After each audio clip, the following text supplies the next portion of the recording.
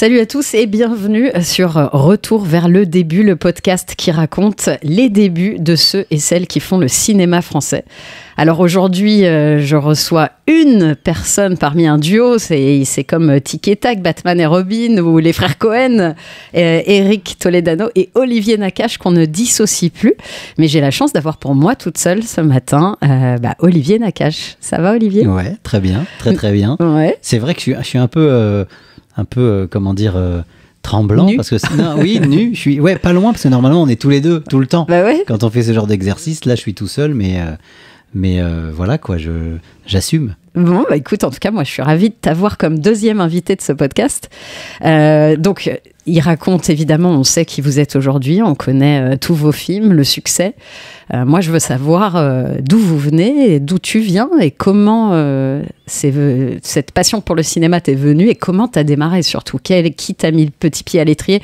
En fait, je dis toujours, ce podcast, il sert à savoir si t'es un enfant de la balle, si t'as fait la rencontre qui a changé ta, vie ou si t'as défoncé toutes les portes possibles pour arriver à, à assouvir ta passion. Déjà, quel enfant tu étais et dans quelle euh, famille ou milieu social tu as été élevé? Eh ben, en fait, euh, vraiment banlieue parisienne, banlieue proche. Ma sœur en a fait un film hein, qui s'appelle Tout ce qui brille, Ouais. donc c'est, Puteaux. Euh, le haut de Puteaux, parce qu'il y a le bas de Puteaux et le haut de Puteaux. Donc Ouais. le haut de Puteaux, c'est-à-dire limitrophe avec euh, Nanterre. Euh, classe moyenne, on habitait en HLM, mais euh, jamais euh, manqué de rien. Avec des parents qui sont pas nés en France, Ouais. ils sont arrivés quand ils avaient 13 ans. Les En Algérie Voilà, en Algérie. C'est vraiment, euh, comme je dis souvent quand- aux gens qui me demandent euh, un peu mon histoire, comme tu le fais maintenant, Ouais, c'est le coup de Sirocco. Voilà, le, pour ceux qui ont vu ce film d'Arcadie, ouais, que je recommande. hein, c'est vraiment un film d'une tendresse infinie avec le premier rôle de Patrick Bruel au passage. Et un grand euh, Roger Hanin et Marthe Villalonga. C'est voilà, c'est ça. C'est-à-dire que mes parents sont arrivés comme ça, en bateau, Marseille. Marseille, ma mère, elle a été à- ensuite à Chelles et mon, mon père a été à, à Créteil. Et ils se sont rencontrés quand ils avaient 20 ans euh, en France. Donc non, pas du tout un enfant de la balle. Ouais.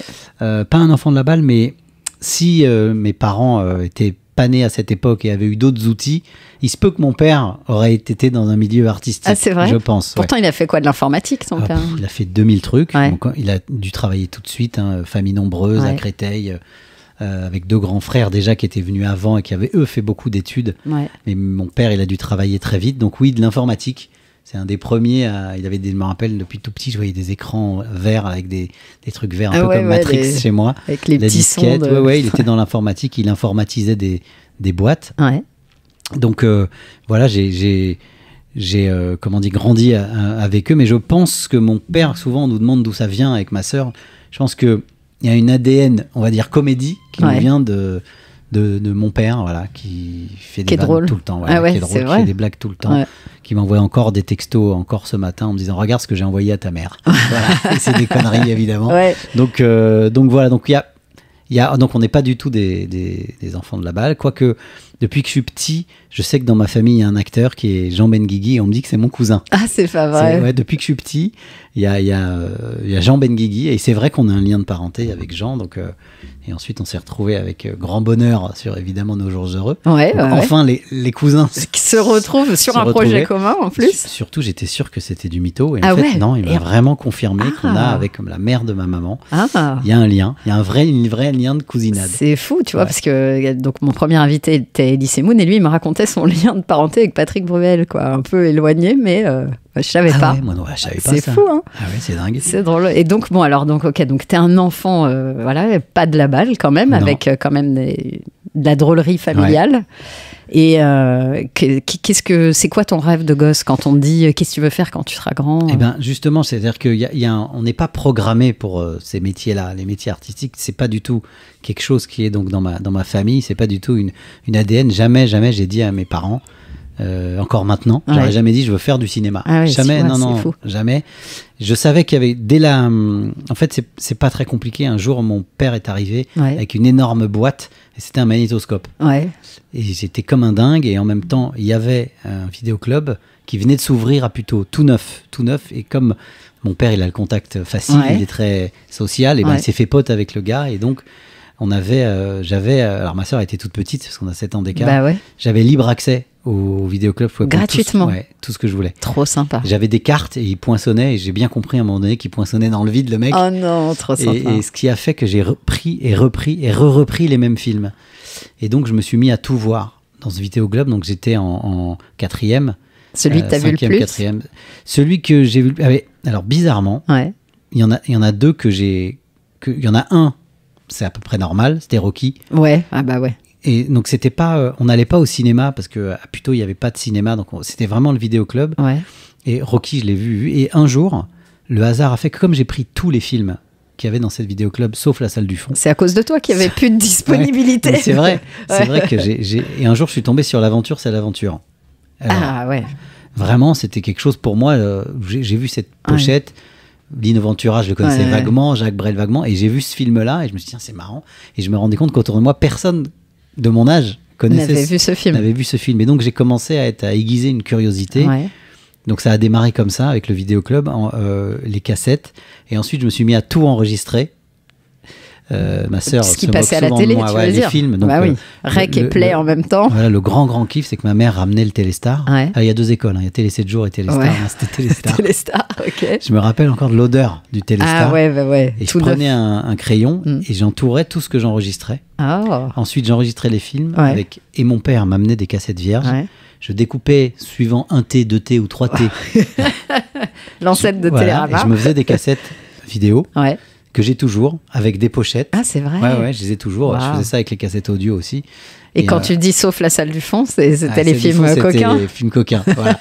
non, non, ça, j'y, ça, ça, j'y pas allais touché, pas, ouais. sauf dix fois. Ouais. Mais- non, ça, je, je- j'y avais pas, j'y avais pas accès. Mais en tout cas, ça, ça a démarré comme ça. Et ensuite, il y a eu quelque chose qui s'est passé. Ah. Il y a les quatre temps qui se sont construits. Le centre commercial Ouais. à la Défense, qui est devenu maintenant Westfield ou je sais pas quoi, ça s'appelle les quatre temps. Et là, il y a un cinéma qui a ouvert. Et là, ça a été le, le, le vrai Graal, parce que j'y allais tout le temps. Et la première fois de ma vie où mes parents m'ont laissé sortir tout seul, Ouais, c'était. pour aller voir euh, les spécialistes. euh, Ah oui. film de Patrice Lecomte, Ok. où j'ai été tout seul euh, au cinéma. Ah. Et après, j'ai pas lâché ce, ce cinéma au point où le agent de sécurité me faisait rentrer. Gratos, Voilà. décidément. C'est ton père encore qui était passé par là pour Ah, lui c'est dire laisse passer mon fils. C'est possible. Et donc, si, si, si tu T'avais veux, quel ça- âge là? C'était quatrième, troisième, donc c'est 15-16 ans. Ok. Ça a, dé- ça a vraiment démarré comme ça, tout en jamais, jamais, jamais, je me suis dit, je, je vais jamais faire. euh, Ouais. Enfin, je me, dis- je, je, je me disais pas, je vais faire ça. Oui, t'étais juste Non, jamais. passionné euh, et tu kiffais aller Ouais, au ciné. Voilà, je kiffais aller au ciné, je kiffais collectionner les films. Ouais. euh, je, j'amassais comme ça pas mal de films aux grandes dames de ma mère qui arrêtaient pas de me dire où On va les mettre ça où Ah Bah ouais. ouais, Donc c'est parti à la cave.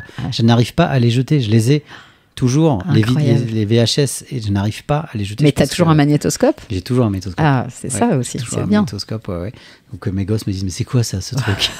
Bah tu m'étonnes. mais c'est comme un lecteur DVD. Mais c'est quoi un lecteur. DVD Ah, Putain, c'est pas possible. Ah ouais, c'est fini maintenant. C'est ça- plateforme. Ça a démarré comme ça et je cumule en disant que pour ma petite sœur, c'était évident. A- Donc elle a 7 ans de moins que moi, mais ma petite sœur très vite, mais alors je pense que comme dans toutes les familles, même toi, tu as dû sûrement danser, tu as dû sûrement faire des, des pestacles. Ah bah ouais, bien sûr. Genre, Voilà. ouais, tu m'étonnes. Bah voilà, donc euh, je pense que là, ma sœur, ça a été plus rapide. Elle a fait une, même, elle a même fait une- un lycée option cinéma. Je crois que c'était le seul à Paris à l'époque. Ah ouais. Elle, ça a été plus vite en fait. Moi, j'ai essuyé deux trois plâtres Ouais. parce que mes parents m'ont toujours dit tu passes le bac et après tu te débrouilles. Et après, tu fais ce que tu veux. Tu Parce que donc, tu avais ce- cette envie avant le bac, peut-être, d'arrêter de. je, je savais qu'il y y avait le bac. Ouais. T'as passé un bac quoi? J'ai passé un bac scientifique. Ah ouais, comme moi. Donc, bah, voilà, tu vois, ça mène à tout. Ça mène à Ça tout. mène à tout. Mais il y a, il y a un autre truc qui- Ouais. qui, est, un- qui est important dans, le, dans les débuts à, à plusieurs, euh, à plusieurs niveaux. Ouais. C'est les colos. Ouais, Les bah bien sûr. C'est Voilà. là-bas que tu rencontres Eric, d'ailleurs. C'est là-bas que je rencontre Eric, mais surtout les colos, c'est là où tu te mesures par rapport au monde et à la société. Mm, mm. Dans nos familles, on nous dit t'es le plus beau, t'es le plus drôle, Ouais. euh, t'es génial, Ouais. t'es le meilleur. Ouais. C'est normal, hein, mais je dis ça à mes enfants toute la journée. Mais quand t'es en colo, tu sais vraiment si t'es le plus beau, si t'es le meilleur, si t'es le plus bien drôle. sûr. Bref, et, et quand j'étais dans ces colos, bon, j'ai de vie que j'ai vite vu, pardon, que j'étais pas le plus beau, j'ai vite vu que j'étais pas le meilleur, mais il y a un truc qui, un truc où je me dis tiens, ce drôle. truc ça marche, Ouais, c'est l'humour. ouais. C'est la comédie. Et attends, tu, quand tu parles de colonie de vacances, donc c'était pas en tant que colon, mais t'allais en Si. tant que moniteur. Oui, non, mais avant, j'étais avant, t'étais colon. J'étais participant. Depuis l'âge qu'on a, depuis qu'on a 6 ans avec ma sœur, Ouais. mes, parents nous envoient en colo. Et c'est un, c'est un- c'est une super école. J'arrête pas de prôner ça. Hmm. C'est une super école pour tout ce qu'on veut faire dans la vie parce que euh, non seulement on sait qui on est vraiment, on Ouais. sait comment se positionner, on comprend vite comment ça marche une société.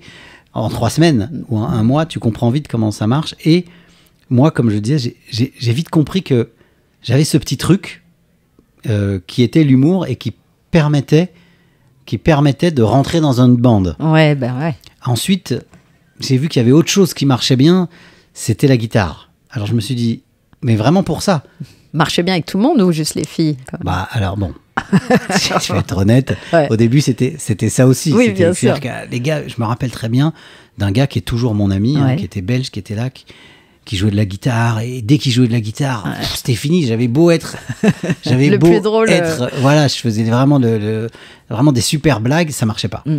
Et donc je me suis aussi mis à la guitare, mais ça a donné une acuité à la, à la, à la musique et quand tu es ensuite animateur, tu dois faire des animations. Et j'avais énormément de plaisir à organiser des spectacles, à organiser des soirées cinéma, à organiser. Je, je- je faisais beaucoup, beaucoup de, de choses comme ça. Ouais. Et, et un jour, on m'a dit que dans le même mouvement de jeunesse, mais pas dans les mêmes euh, colos, en fait, il y avait un autre gars qui faisait, qui faisait ça, qui faisait des soirées cinéma, qui se, qui se décarcassait pour faire des animations. Moi, je me rappelle, je montais des pièces au début des colos et à la fin, Ouais. enfin, toute une colo pour Ouais. monter des pièces. Et voilà, c'est là que c'est parti. Eric, il est un peu plus âgé que moi. Donc c'était lui cet autre gars. C'était lui. C'était. Eric Toledano. C'était lui, mais alors, quand on a 16 ans et ceux qui ont 18 ans, il y a, c'est Ah un, oui, un univers entre. Ouais. C'est Ouais. pas comme maintenant. Bien sûr. Quand on est plus vieux, il y a plus Mm. de différence. Là, il y avait une vraie différence. Donc, euh, donc un jour, je, je jump dans, dans le- dans le temps, donc je suis animateur et j'entends, euh, j'entends, tiens, il y a Eric Toleno qui va faire un stage sur un plateau de film. Et je pète un plomb. Ah ouais. Pour moi, c'est comme si on me disait, il y a quelqu'un dans ton entourage qui fait un film. Ah oui, ouais. Donc voilà, donc je, je- je pète un câble. Je me dis, c'est pas possible, il faut absolument que je le rencontre. Ouais. Je- je- on se connaissait sans se connaître. Ouais. Il avait sa bande, j'avais ma- ma bande. Et je lui dis, il faut absolument que j'aille le voir et que je lui dise qu'il me prenne avec lui dans cette, dans cette affaire-là. Parce que, évidemment, je, je, je connaissais évidemment personne, même pas Jean Benguigui. Ouais, à ce moment-là. Ouais. Et là, t'es quoi euh, Tu passes ton bac, quoi, à ce je moment-là venais d'avoir le bac. Tu venais d'avoir le bac Donc, je venais d'avoir le bac, donc toutes les portes étaient ouvertes. Je m'étais inscrit en sciences éco à Nanterre pour être avec mes potes. Ouais. Mais je savais très bien que Ouais, que c'était pas ça. c'était pas ça. Et, et mes parents ont tenu euh, promesse, Ouais. ont tenu parole. Ils J'ai eu le bac, Et après, ils t'ont laissé. ils m'ont laissé tranquille. Il y, a eu, il y a toujours eu une sorte de confiance. Ouais, je sais pas comment le dire. Une sorte de. De toute façon, je me rattraperai sur ouais. mes pattes. Ouais, ouais, bien Je me sûr. rattraperai sur mes pattes. Et du coup, il- quand j'ai appris ça, Eric, il était euh, en colo au ski Ouais. euh, à la montagne. Ouais. Bah, j'ai pris le train. J'ai prévu Ah personne et j'ai été euh, au carreau d'arrache. Et j'ai frappé, je suis arrivé la nuit. Donc j'ai frappé et. Le psychopathe, c'est de. Prends-moi qu'est-ce que tu fous là? Ouais. Ah, il te tu- connaissait un peu comme Un peu, ça. mais, mais qu'est-ce que tu fais là? Il me dit, pas. Il pensait que je venais pour remplacer un autre Ah animateur. ouais, Je dis non, non, euh, et je lui ai dit, je me rappelle hyper bien, j'avais même pas enlevé ma fausse doudoune Scott. Ouais. je, lui ai dit, je lui ai dit, je veux, f- je peux faire le film avec toi. Il m'a dit, mais enfin, mais tu dérailles. Je suis, je suis pris en tant que stagiaire. Ah ouais, c'est drôle. Je suis pris en stage. Je dis, mais moi, je- moi aussi, je peux être ton stagiaire, du stagiaire. Ouais. Non, et il m'a dit, écoute, c'est pas possible. Alors, qu'est-ce qui s'est passé? Ouais. il a, il a participé à ce film de Diane Curis. Ouais. Euh, parce qu'il l'avait quand même rencontré dans la rue complètement par hasard. Et il, lui a été, il a été lui demander, de lui dire, je suis fan de Cinoche, euh, est-ce que je peux faire, euh, je fais tout ce que vous quoi, voulez ouais. Et elle l'a, elle l'a rappelé. Waouh, c'est rare les gens Bah comme ouais, ça. c'est rare. Et donc, Ouais. euh, Eric était donc euh, stagiaire régie d'abord Ouais. pour nos auditeurs. C'est très très dur. C'est ingrat comme C'est travail. Très, très dur. Ouais. C'est l'organisation logistique du tournage. Donc, Ouais. il amenait les acteurs avec sa micra. Et, euh, et en fait, tous les jours, j'allais à la sortie du tournage. Et pour qu'il me raconte, alors il me disait bah, J'ai gardé la rue là, aujourd'hui. J'ai gardé des places. Et donc, j'ai suivi avec lui le tournage sans du tout être dans Sans le être tournage. dedans, t'es resté là-bas Ouais, quand même. Je, suis- je suis resté là-bas. Et, si tu veux, à un moment, il s'est dit Bon, ce mec-là, Ouais, il en veut il y a quelque chose. Ouais. Il y a quelque chose. Et, et de fait, ce stage, quand même, a, a donné la lumière de ce que c'est un tournage. Ouais. Il faut quand même savoir que, que un jour, j'étais au, donc au lycée Paul Langevin à Suresnes. Ouais. Et un jour, je suis arrivé, j'étais en seconde. Mm. Et je suis arrivé et je vois des projecteurs, je vois tout un bordel devant le lycée. Et je vois surtout une flèche qui dit entrée des élèves Euh, Aujourd'hui, on, on rentre pas par la, la- Par la porte par la porte principale. Par le lycée était classé en fait. Ouais. Et je comprends pas. Je vois Thierry Lhermitte, je vois Eddie Mitchell. Je me dis, mais qu'est-ce que c'est que ce truc? Ah, waouh. Et donc, donc je me rappelle, c'était en début, mon dé- début d'année de seconde, et donc je, je m'approche tout doucement et je vois un mec qui action, moteur. Je dis mais pourquoi ils refont dix fois Ah, la ouais. même chose, ils refont dix fois et a un assistant, évidemment, quand on est sur un plateau, quand on ne travaille pas, on se fait virer tout de suite. Bah oui, bah tu fais là, toi, Ouais. bouge. Je dis non, non, non, et je me suis fait tout petit jusqu'à ce que Claude Zidi, Ouais. qui était là donc le réalisateur, c'était. La Totale, le film, il me dit Ah qu'est-ce que tu veux toi? Je dis mais je sais pas, vous faites, vous- c'est incroyable ce que vous faites. Il me dit bah alors assis-toi.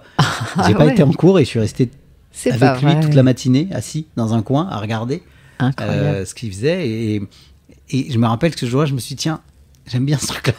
j'aime bien, j'aime bien ah, ça. donc, euh, ok. Donc, en seconde, déjà, ça te met le truc un petit Ouais. peu. euh, Ça, ça, ça m'a mis le truc. Et ensuite, à- à la- après ce stage donc euh, qu'a fait Eric, Ouais. euh, on, s'est- on s'est. Ensuite, lui, ensuite, il était quand même à Sciences Po Ah, ouais. à la Sorbonne. Ok. Je peux dire aussi que j'ai fait Sciences Po, mais devant, parce que j'allais le le chercher. tous les jours. Il y a un café en face Ouais. et on allait écrire des histoires. En fait, parce que euh, lui, il avait vite compris que le seul moyen d'arriver, c'était soit l'assistanat, ce qu'il a commencé à faire. Ouais. Mais c'était très dur, dur. il en a chié, c'était Ouais. très dur. Ouais. Euh, il a dit l'autre moyen, c'est des courts-métrages. Ouais, C'est des courts-métrages. C'est- Il n'y a pas, il y a pas d'autre moyen. bien sûr. C'est un métier qui se fait, qui s'apprend en se faisant.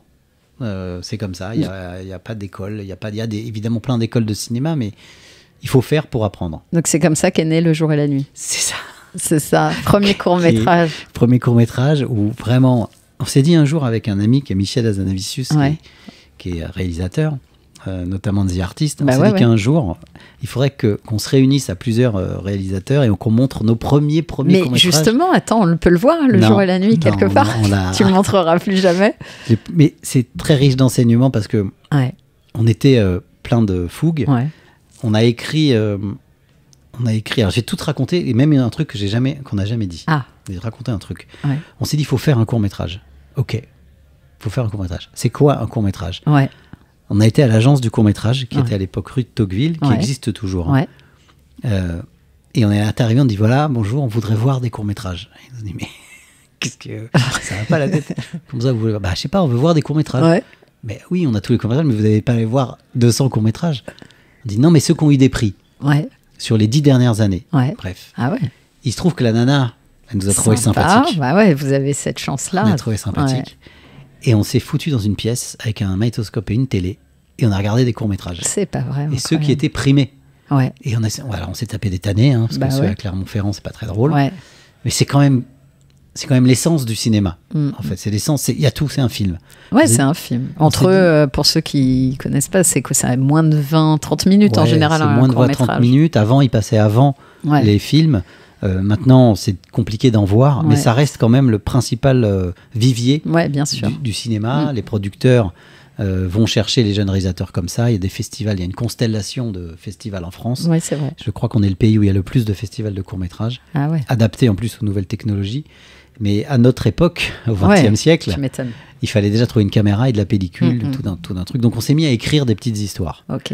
Mais attends, donc vous voyez tous ces courts-métrages ensemble. Donc Ouais. là, bon, de toute façon, l'amitié est née. Hein, ouais, ouais, euh, l'amitié est née. Euh, moi, j'habitais toujours chez mes parents. Eric, il habitait en coloc euh, avec un, un pote. Ouais, Euh, je peux dire que j'habitais aussi en coloc. ouais parce qu'on était tout le temps c'était là-bas. toujours chez lui. Et on a commencé à voir euh, plein de films et à Ouais. se dire, tiens, ça c'est pas mal, ça c'est pas mal. Et à découvrir que les metteurs en scène qu'on adore ont fait des courts-métrages. bien sûr. Et je me souviens très bien d'un de Cédric Clapiche, de Salvadori. Je me dis, bah, faut faire ça, faut qu'on fasse des courts-métrages. Donc, on, s'est mis à écrire. On s'est mis à écrire des petites histoires, euh, plus ou moins charpentées. On savait évidemment pas comment, comment s'y prendre, mais on s'est lancé. On en a écrit un qui s'est jamais fait, ouais. mais qui nous a qui nous a permis de rencontrer un acteur qui est Vincent Elbaz. Ah, Vincent Elbaz, il- donc évidemment, on a allé aussi voir les, les- les films et on a Ouais. vu Le Péril Jeune. ouais. On a adoré Bah ouais, le film. tu m'étonnes. On a écrit une histoire, on a été voir Vincent Ouais, avec la première, première fois qu'on a fait un cast, même pas un casting, enfin qu'on a fait une lecture, c'est avec Vincent Elbaz et un autre acteur qui s'appelle Jean-Claude de Goros qui joue dans tous les films d'Arcadie. Ok. C'est Mais comment tu les abordes, ces mecs-là, quand tu viens Ah, nulle part On a trouvé leur téléphone et on les a appelés. ouais, la démerde, quoi. La démerde. Ok. on n'avait pas de bureau. Ouais. Donc Eric a demandé à son oncle, qui avait un cabinet d'avocat, de nous prêter son bureau. C'est pas vrai, génial pour le recevoir. ouais, et on les a reçus tous les deux. Ah waouh. Et euh, c'était un court métrage qui s'appelait À demain, Ouais. je me rappelle, qui, qui était, qui était sympathique. Ouais, Et on s'est, maintenant, il fallait trouver de l'argent. bien sûr. On a envoyé ce scénario à. Alors, deuxième chose, comment on trouve des productions Bah ouais, ouais. Donc, on va au CNC et on demande la liste de toutes les boîtes de production de court-métrage. Il y en a 99, il y en avait 99 à Wow. l'époque. Ok. On envoie le scénario au 99. C'est pas vrai. Ouais. Ah ouais, donc motivé quand même. Hein. On reçoit 98 lettres de refus, Mmh. malgré les qualités euh, extraordinaires, mais par contre, machin. Un mec qui nous reçoit, qui nous dit amenez-moi 300 000 francs et on le fait. Voilà. Waouh, bien sûr. Donc, un malin. Voilà. Ensuite, on s'est dit mais les boîtes de court-métrage, c'est les gars qui les montent pour faire leur. Bah ouais, bien Les sûr. leurs. Bah ouais, Et exactement. on s'est dit bah en fait, il va falloir euh, bah, payer le nous payer. quoi, et le faire. Donc on a redoublé d'énergie et on s'est mis à bosser, à bosser. Alors moi j'étais comme je collectionnais plein de trucs, je collectionnais, aussi les vinyles. Je me suis mis à faire DJ, je me suis mis à faire des animations et puis avec Eric on s'est embarqué là-dedans, d'où le sens de la fête plus Ouais, tard. hein. ouais, on a ouais. travaillé dans les Bien mariages. Et un jour on a récolté 30 000 francs. C'est énorme. Ouais. Sauf que ces 30 000 francs là, entre temps on avait donné zéro nouvelle à Vincent Elbaz et à Jean-Claude de Goros Ah, et ça s'est pas fait. Parce qu'ils étaient OK pour le faire. Ouais, ils étaient ok. Ah ouais, sympa. Vincent, il était, euh, il venait de faire le péril jeune. Ouais, enfin, euh, et donc, on a tellement eu honte de les appeler pour leur dire, bah écoutez, on va pas le faire. On les a jamais rappelés. Waouh. Du coup, le jour où on a vu Vincent Elbaz pour parler de tellement proche, Ouais. quand il a ouvert la porte, il a dit, vous venez pourquoi? C'est le court métrage. C'est pas vrai, Bah c'est ouais, drôle. Bah oui.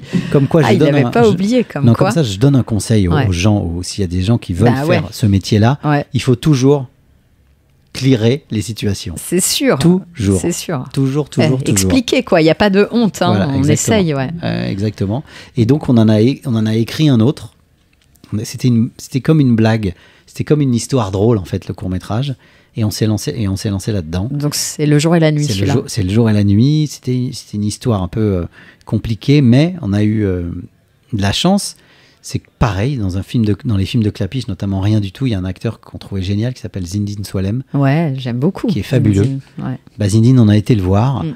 Pareil, il nous a dit bah, allez-y les gars, moi je le fais. Ah Et ouais, donc, il est génial. On a pris Zindine, un autre comédien qui s'appelle Denis Seba, Ouais. Julie Mauduèche, Ouais. qui jouait dans, dans Métis. Et on a fait ce court-métrage-là, en pellicule, en allant dans, à l'ESRA, trouver un chef opérateur. On a réuni un peu euh, une équipe comme on pouvait. Ouais. En, en- Eric a rappelé un, un- un- un ingénieur du son qui s'appelle Pierre Beff et qui est, qui est décédé depuis, qui était l'ingénieur du son de Diane Curis, et qui nous a donné trois heures de cours de comment faire un court-métrage, C'est vrai. comment tourner, en fait, comment tourner. Ouais, bah ouais. Et je me rappelle très très bien que le premier plan, moi, je, je voulais un travelling. Bah oui, toi, tu fais pas, euh, tu fais pas la simplicité pour le premier plan. Alors, je me rappelle hyper bien qu'avec Eric, on dit ouais, il faut un travelling. Ouais. En fait, on voulait tellement faire du cinéma qu'on voulait voir du cinéma. Bah oui, bien sûr. Et je me rappelle que euh, dans une première scène de ces deux personnes qui se parlaient, qui étaient assis, on dit non, ils vont marcher. Comme ça, on met un travelling. Ah ouais. Et voilà. Et on a et, et ça s'est démarré comme ça. On a eu toutes les galères que tu peux imaginer sur un tournage. Bien sûr. Euh, Sur un premier Sur un tournage. premier quoi. tournage, toutes les galères, la météo, le- ce qu'on appelle des perruques, c'est-à-dire c'est des la pellicule qui s'en mêle, euh, des scènes qui sont, enfin bon bref, bon an mal an, Ouais. on monte ce film qui est, qui est une blague, qui est et, la dernière scène c'est une scène musicale, on a pris tous nos potes avec des, des- des figurants, mais il y avait tellement de problèmes techniques que quand on l'a envoyé dans les chaînes pour l'acheter, ils nous disaient il est pas passable, on peut pas le passer. Ah merde. Il y a trop de, il y a trop, de, il y a des, je me rappelle, il y avait de la pellicule, il y avait un flash bleu qu'on a quand même monté. mais En fait, c'était vraiment. euh, Ouais. Je Vraiment comprends pourquoi tu dis euh, on peut pas le voir quoi. Non, parce que c'est Et touchant. encore, c'est bah oui, c'est pour ça, c'est sympa. c'est toujours émouvant, mais euh, au sortir de ce film-là, Ouais. euh, on s'est dit, il y a un truc qui va pas parce que on a voulu raconter une histoire. Ouais. C'est celle d'un médecin hein, qui tombait Ouais, amoureux. C'est ça, ou- c'est ça. C'est un médecin le jour et la nuit qui travaillait la nuit, sa Ouais. femme le jour, ils se voyaient plus. Et puis voilà, et elle, elle lui disait que c'était terminé. Mm, mm. Et lui disait mais non mais c'est pas possible, c'est pas possible. Et toute la journée, Ouais. il voyait un copain à lui euh, qui faisait plein de boulot. Donc il le voyait euh, livreur de pizza, Ouais. ensuite il le voyait chauffeur de bus. Il dit mais je comprends pas. Et le mec il cumulait pour euh, il faisait plein de boulot Ouais, quoi. Donc c'était c'était comme une petite farce. Mais euh, on s'est dit à un moment on s'est dit non mais ça va pas parce que en fait on parle pas de nous quoi. On ne dit rien. On parle pas de Ah, nous. tu racontes rien, quoi. c'est raconte ça. rien. On La première chose qu'on nous demande quand ça. tu on te dit tu veux faire un film, ok, ça raconte quoi. raconté Ouais. voilà. et, euh, et on est parti sur un autre court métrage. Alors, entre le jour et la nuit et le court métrage, il y a un Il y a eu- laps de temps. Mais 4 ans, j'ai Ouais. vu. 4 C'est ans. 4 ans où on a, on a travaillé avec Ouais. Eric, pareil, dans le milieu de la fête. Ouais. Pareil, en se disant, on va On met faire, des sous. on met des sous, on va, on va faire un autre court métrage, mais ça va prendre un peu, un peu de temps. Et on s'est lancé euh, dans dans dans d'autres choses, et on s'est dit aussi, on veut quand même être au contact des acteurs, des gens qui font ce métier, donc on va peut-être les interviewer. Voilà comment. C'était très stratège. Ah Ouais, ouais, ouais. Et euh, il y a, y a un, hebdomadaire qui s'appelle Le Film Français ouais. pour les Bah ouais, professionnels. bien sûr. Et dans la dernière page, il y a toutes les sorties avec les attachés de presse. Que- C'est tu vas extraordinaire. pas croire ce qu'on a fait là. Mais si, mais c'est génial. Donc, euh, qu'est-ce qu'on a fait? On s'est mis à appeler tous les attachés de presse Ouais. en disant Mais c'est pour les journalistes, vous faites quoi vous? Bah, On fait une radio euh, qui s'appelle. euh, donc, on, avait, on s'est dit Il faut qu'on trouve une radio. Ouais. Qu'est-ce qu'on fait? Pareil, comme le CNC, on prend l'officiel des spectacles. Vous êtes fort. L'officiel des spectacles, il y a toutes les radios à la fin. Ouais. Et on fait. Comme, on, comme je suis avec toi là, Ouais. on enregistre une radio. Eh bien, bonjour Eric, bonjour Olivier, bienvenue dans Ciné, Ciné Passion. Ouais. Et on a fait une émission de cinéma qu'on a envoyée à tout le monde. Waouh. 99 refus. Ouais. Une personne veut bien nous recevoir. Mais elle te demande 300 000. Non, lui, et ce gars-là, il fait encore des trucs. hein. C'est vrai, c'est incroyable. Écoute, on reçoit un truc, c'est Fréquence Paris Pluriel, Ouais. qui est la dernière radio Ouais. du tuner. Tu vas pas au bout là-bas. Ouais, ouais, ouais, tu vas jamais. 106.3, c'est la radio des luttes. Ouais. Elle existe toujours. C'est Porte de la Chapelle. Et c'est un truc de fou. Donc on arrive Porte de la Chapelle et c'est la radio des luttes. Donc c'est la radio pour, euh, par exemple, en ce Ouais. moment, j'imagine qu'il y a les agriculteurs Ouais, ouais, qui font des ça. émissions. euh, Tous des gens qui ont des revendications vont Exactement. là-bas, quoi. Donc on est reçu par un mec très sympa qui nous dit écoute ça m'a fait marrer euh, votre truc là ça m'a fait marrer moi je jouais de la guitare enfin, on faisait des quiz enfin, c'était vraiment quelque chose de d'assez C'était un podcast avant-gardiste, en fait. c'était ça exactement bref et je, je le gars nous dit ok mais il faut que ça soit que du cinéma engagé qui Ouais. parle de lutte Ah, waouh. donc le Ah ouais. et on avait tellement envie qu'on lui a dit oui évidemment on n'a pas du tout respecté notre parole Ah, ouais. Ensuite, on s'est empressé d'appeler tous les attachés de presse en disant voilà, FPP, Fréquence Paris Pluriel. Mais, mais qu'est-ce qu'il- a Et on s'est mis à aller dans toutes les projections de presse pendant un ou deux ans, même trois ans. On a vu tout ce qui se faisait. Et on invitait les gens à Porte de la Chapelle. Ouais. Gérard Junio est venu, Ah ouais. Patrick Braoudet, Clapy. On a amené tout le monde. Et à Ouais. chaque fois, le gars nous disait mais enfin, il n'y a pas de rapport avec le, les Avec luttes. les luttes. Ah, dit, ouais. mais oui, mais bon, il y a quand même quelque chose. euh, Voilà. Et de temps en temps, on faisait des sujets précis Ouais. pour se redorer un peu notre blason. Bah ouais. Euh, je me souviens très bien qu'un jour, on a fait. Un jour, le gars nous a dit écoutez, les mecs, vous, vous êtes tout le temps à la radio. Ouais. Vous avez une émission qui va suivre pour ça, mais vous êtes tout le temps là. Ouais. 1er novembre, vous- je vous donne toute la matinée. Waouh. Et on a fait une matinée, et à un moment donné, je- on voulait vérifier si quelqu'un nous écoute. Bah ouais, quand même. Donc on a dit celui qui gagne, on lui, on lui offre un voyage à celui qui appelle, on lui offre un voyage à New York et tout. Et il y a une dame qui appelle hyper sympa, qui trouve la réponse parce que je jouais de la guitare, et devait trouver. C'était ma mère. C'est pas vrai, c'est pas C'est vrai. ma mère qui a appelé. tu l'as emmené à New York ou pas? Ah ouais. en plus, c'est vrai. Non. Et, et- mais, mais au cours de ces, de ces entretiens-là, Ouais. on a rencontré des gens. Ouais, c'est ça. On a rencontré des gens Ouais. et on a rencontré des gens qui ont été euh, très importants, notamment Patrick Braoudet qu'on Ouais. a rencontré. Et on lui, a, on lui a dit on veut boire un café avec toi. Et alors il avait quand même vécu quelque chose d'incroyable avec neuf mois. Et Oui. donc on a, on a passé une matinée avec lui où il nous a raconté deux trois trucs. Et aussi, non, lui, il avait fait génial, mes parents divorcent. Son premier film, ouais. Et neuf mois. Et neuf mois après, ouais. Il, était, il est vétérinaire. Ouais. Oui, Il oui, est c'est vrai. Au cinéma. C'est vrai. Il a parlé de lui. Ouais. Donc on s'est dit, mais c'est pas vrai. Oui, c'est ça. Il faut raconter quelque chose. Mm, mm. Quand on parle de quelque chose, on en parle forcément bien. On connaît. Ouais, on ouais, connaît, bien sûr. On connaît ces trucs-là. Et un jour, au cours de ces entretiens, euh, on, est avec de- des- un tout jeune qui vient d'arriver euh, du Canada, qui est Gad Elmaleh. Waouh, ok. Donc voilà, on le rencontre Ouais. comme ça. Ouais. Et au cours d'un entretien, pareil, il y, a un- il y a un courant qui passe. C'est difficile de pas avoir le courant qui passe avec lui. Et, et on lui raconte une histoire. Mm. On lui raconte un truc qu'on fait avec Eric depuis 5 ans déjà. Comme je, je l'ai dit, on faisait des animations. Le soir du 24 décembre, on fait le Père Noël chez les gens. Ouais. On faisait ça avec Eric. On, on appelait des potes. On avait acheté des, des, des tenues de, De Père de Noël. Père Noël et il y avait une société qui Ouais. nous dispatchait, qui s'appelait Jour de fête, qui, qui doit toujours exister d'ailleurs, et qui nous envoyait Chez les gens. chez les gens. Et on arrivait, on avait appris par cœur Bonjour Juliette, alors toi, tu aimes beaucoup le chocolat. Et on, a- et on faisait ça et on se retrouvait, tout, nos, tout le Père Noël à la fin de la soirée, et on, et on se racontait des trucs. Putain, il m'est arrivé ça. Évidemment, c'était la plupart, le 24 décembre, c'est souvent des bruns aux yeux noirs. Ils fêtent pas Noël, les mecs. Bah ouais, ouais, ouais. Donc on était tous un peu, euh, tu vois, euh, des banlieusards, euh, euh, des enfants issus de la première génération d'immigrés. Ouais, Enfin, bien tu vois, sûr. Et on se met à lui raconter ça à Gad. Et Ouais. Gad nous dit, je me rappelle hyper bien, il nous dit, mais, mais vous l'avez écrit ça? Ah, Et on ouais. lui dit oui. Et je lui dis, mais, ah, tu c'est génial, moi je le fais ce, ce truc-là. C'est super comme histoire et tout, je le fais. Et Les voilà. petits souliers. Les petits souliers, on l'avait évidemment pas écrit. Ah bah ouais. En une semaine, on a gratté les petits souliers, Le deuxième le court-métrage. deuxième court métrage. Ouais. On le fait lire à Gad. Il nous dit c'est super. J'ai mon pote Jamel là. Je vais l'appeler. Il appelle Jamel. De On Bouze. Jamel Ouais. de Bouze. Ouais. Qui était euh, la mèche était en train de s'allumer. Ouais. Et il allait exploser. Jamel. Et je me rappelle aussi que moi on- c'est le début des déchiens. On Ouais, aimait bien carrément. Atmen Kelif. Ouais. On appelle Atmen Kelif et on, lui- et on lui dit mais il y a Jamel et Gad. Mais bien sûr je le fais. Ah bah oui. Vous avez fait quoi avant? T'inquiète. T'inquiète. et alors la cerise. Et après, il y a eu que des cerises. Ouais. Euh, que Jamel dit bah, pourquoi on n'appelle pas Rojdi? Rojdi, il sortait de N'oublie pas que tu vas mourir. Il avait déjà euh, 10 films derrière lui. Il dit ça, non, non, les gars, Rojdi. C'est trop. Ouais. Il a appelé Rojdi. On le rencontre. Ouais. Rojdi nous dit bah, allez-y, euh, je le fais moi. Waouh. Et on se retrouve euh, à la tête de ce bateau-là, qui Ouais. est devenu Les Petits Souliers, notre deuxième court-métrage de 20 minutes. Et on est né. Ouais, comme ça. On est né C'est comme ça. ça, qu'on vous remarque Voilà. et qu'on vous repère. Quoi. on est né comme ça. Euh, on raconte quelque chose euh, qu'on connaît. euh, ça parle de sujets sociaux. C'est drôle. Ouais. Euh, Il y a un poil d'émotion. En fait, je l'ai revu il y a pas longtemps parce qu'on l'a montré à des étudiants et je me dis c'est fou parce qu'il y a tous les ingrédients de tout ce qu'on a fait après.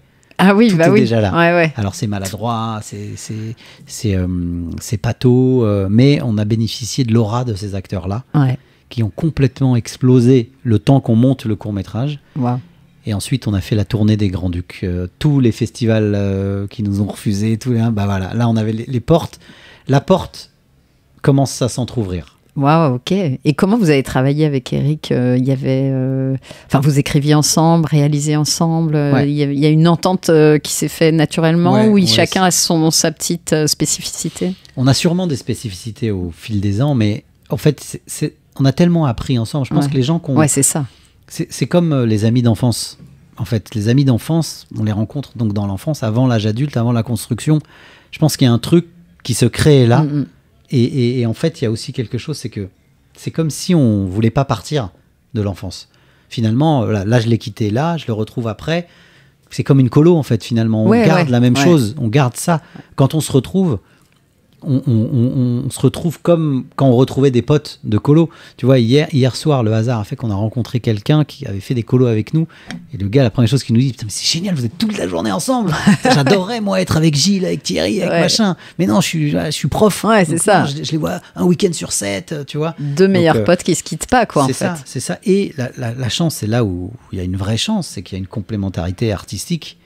Euh, le hasard fait que, bah, grosso modo, on aime les mêmes films, euh, on aime euh, écrire les mêmes histoires, et les histoires qu'on veut raconter nous brûlent tous les deux. Ouais. Donc, ce qui était le cas pour, pour Nos Jours Heureux, pour Samba, pour Hors Norme, Ouais. pour Le Sens de la Fête, pour Intouchable. C'est ça qui est incroyable, en fait. Et, et comme tu dis, en fait, vous, petit à petit, quand même, vous avez raconté des choses personnelles. Ouais. Donc, euh, parce que on- là, on était sur ton deuxième, euh, sur votre deuxième court métrage. Le troisième, c'est Ces jours Ces heureux, euh, qui est donc euh, le cours, le cours qui Ouais. va donner le long, mais plus tard, parce qu'il y aura un autre long avant celui-ci. Et Ça aussi, je peux, je peux expliquer pourquoi il y a un autre long avant bah, celui-ci. c'est ça, c'est ça. Ça, c'est- Donc, Vous faites ce court métrage Ces jours heureux, Ouais. qui aussi, là, alors là, c'est vraiment, euh, Ouais. bah, c'est bon, quoi, c'est lancé. Et un long avant celui-là, Ouais, ouais, c'est. Bah, en fait, en fait, euh, la porte, elle s'ouvre pas facilement. ouais, La porte, faut donner Malgré des- le succès non, du faut donner des coups d'épaule. ouais, Le, le- le- je, je disais ça il y a pas longtemps à quelqu'un euh, qui est pas loin de moi, que c'est que l'obstination fait partie du talent. ouais. Et c'est vrai que l'obsti- l'obstination fait partie du talent. Maintes et maintes fois, euh, on, on a baissé les bras parce que on fait les petits souliers. Les petits souliers, ils rencontrent, ils, ils remportent 30 prix dans les festivals. Ça y est. Oui, Nous, ce on qui est dit, énorme. ça y est. Dominique Farrugia nous repère et je- je- je- je- j'en profite pour le remercier encore, Ouais. Dominique Farrugia, parce que c'est vraiment lui qui nous a à un moment donné attrapé et dire vous, vous allez faire du cinéma, c'est sûr. Ah, ok. Il a senti, lui. Il a senti, il voulait faire le long métrage des petits souliers. Hmm. Et donc pendant 2-3 ans, on a essayé d'écrire le long métrage des petits souliers avec ce casting-là, mais c'était plus possible parce que Gad et Jamel, ils étaient, c'était devenu euh, Ouais. plus à notre portée. Mm, mm. Jamel, il est parti avec, il a fait Jean-Pierre Jeunet, Le ciel des oiseaux et ta mère. Il est devenu, c'est devenu une superstar. Gad, entre les spectacles et le cinoche, c'était plus possible. Donc, on n'y est pas arrivé.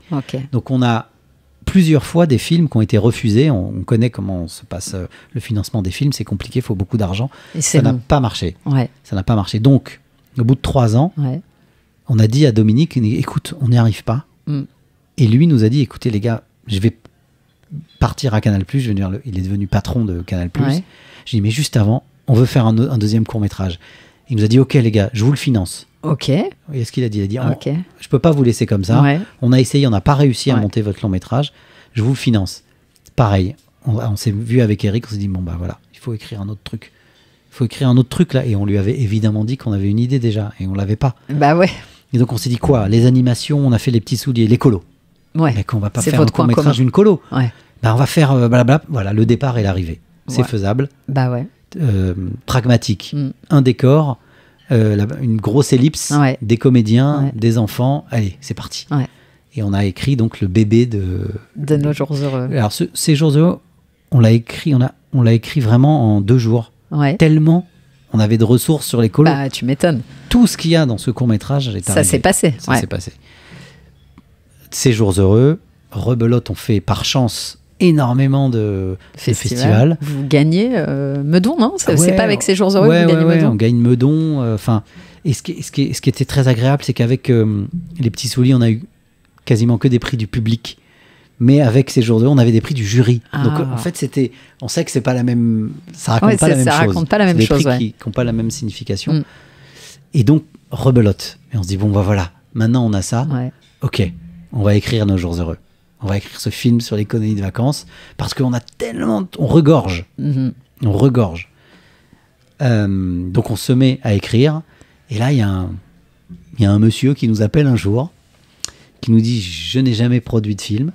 J'empiète peut-être sur ton programme. Non, pas du tout. Non, non, pas du tout. Non, non, je, je regardais. euh, non, non, je cherchais euh, le. le- Non, mais moi je pars, je suis bien là, donc je pars. mais, mais moi, non, non, au contraire, au contraire. Donc ce mec Et- t'appelle. Et c'est Nicolas Duval, Quad Production, Ouais. qui nous appelle Ah bah ouais.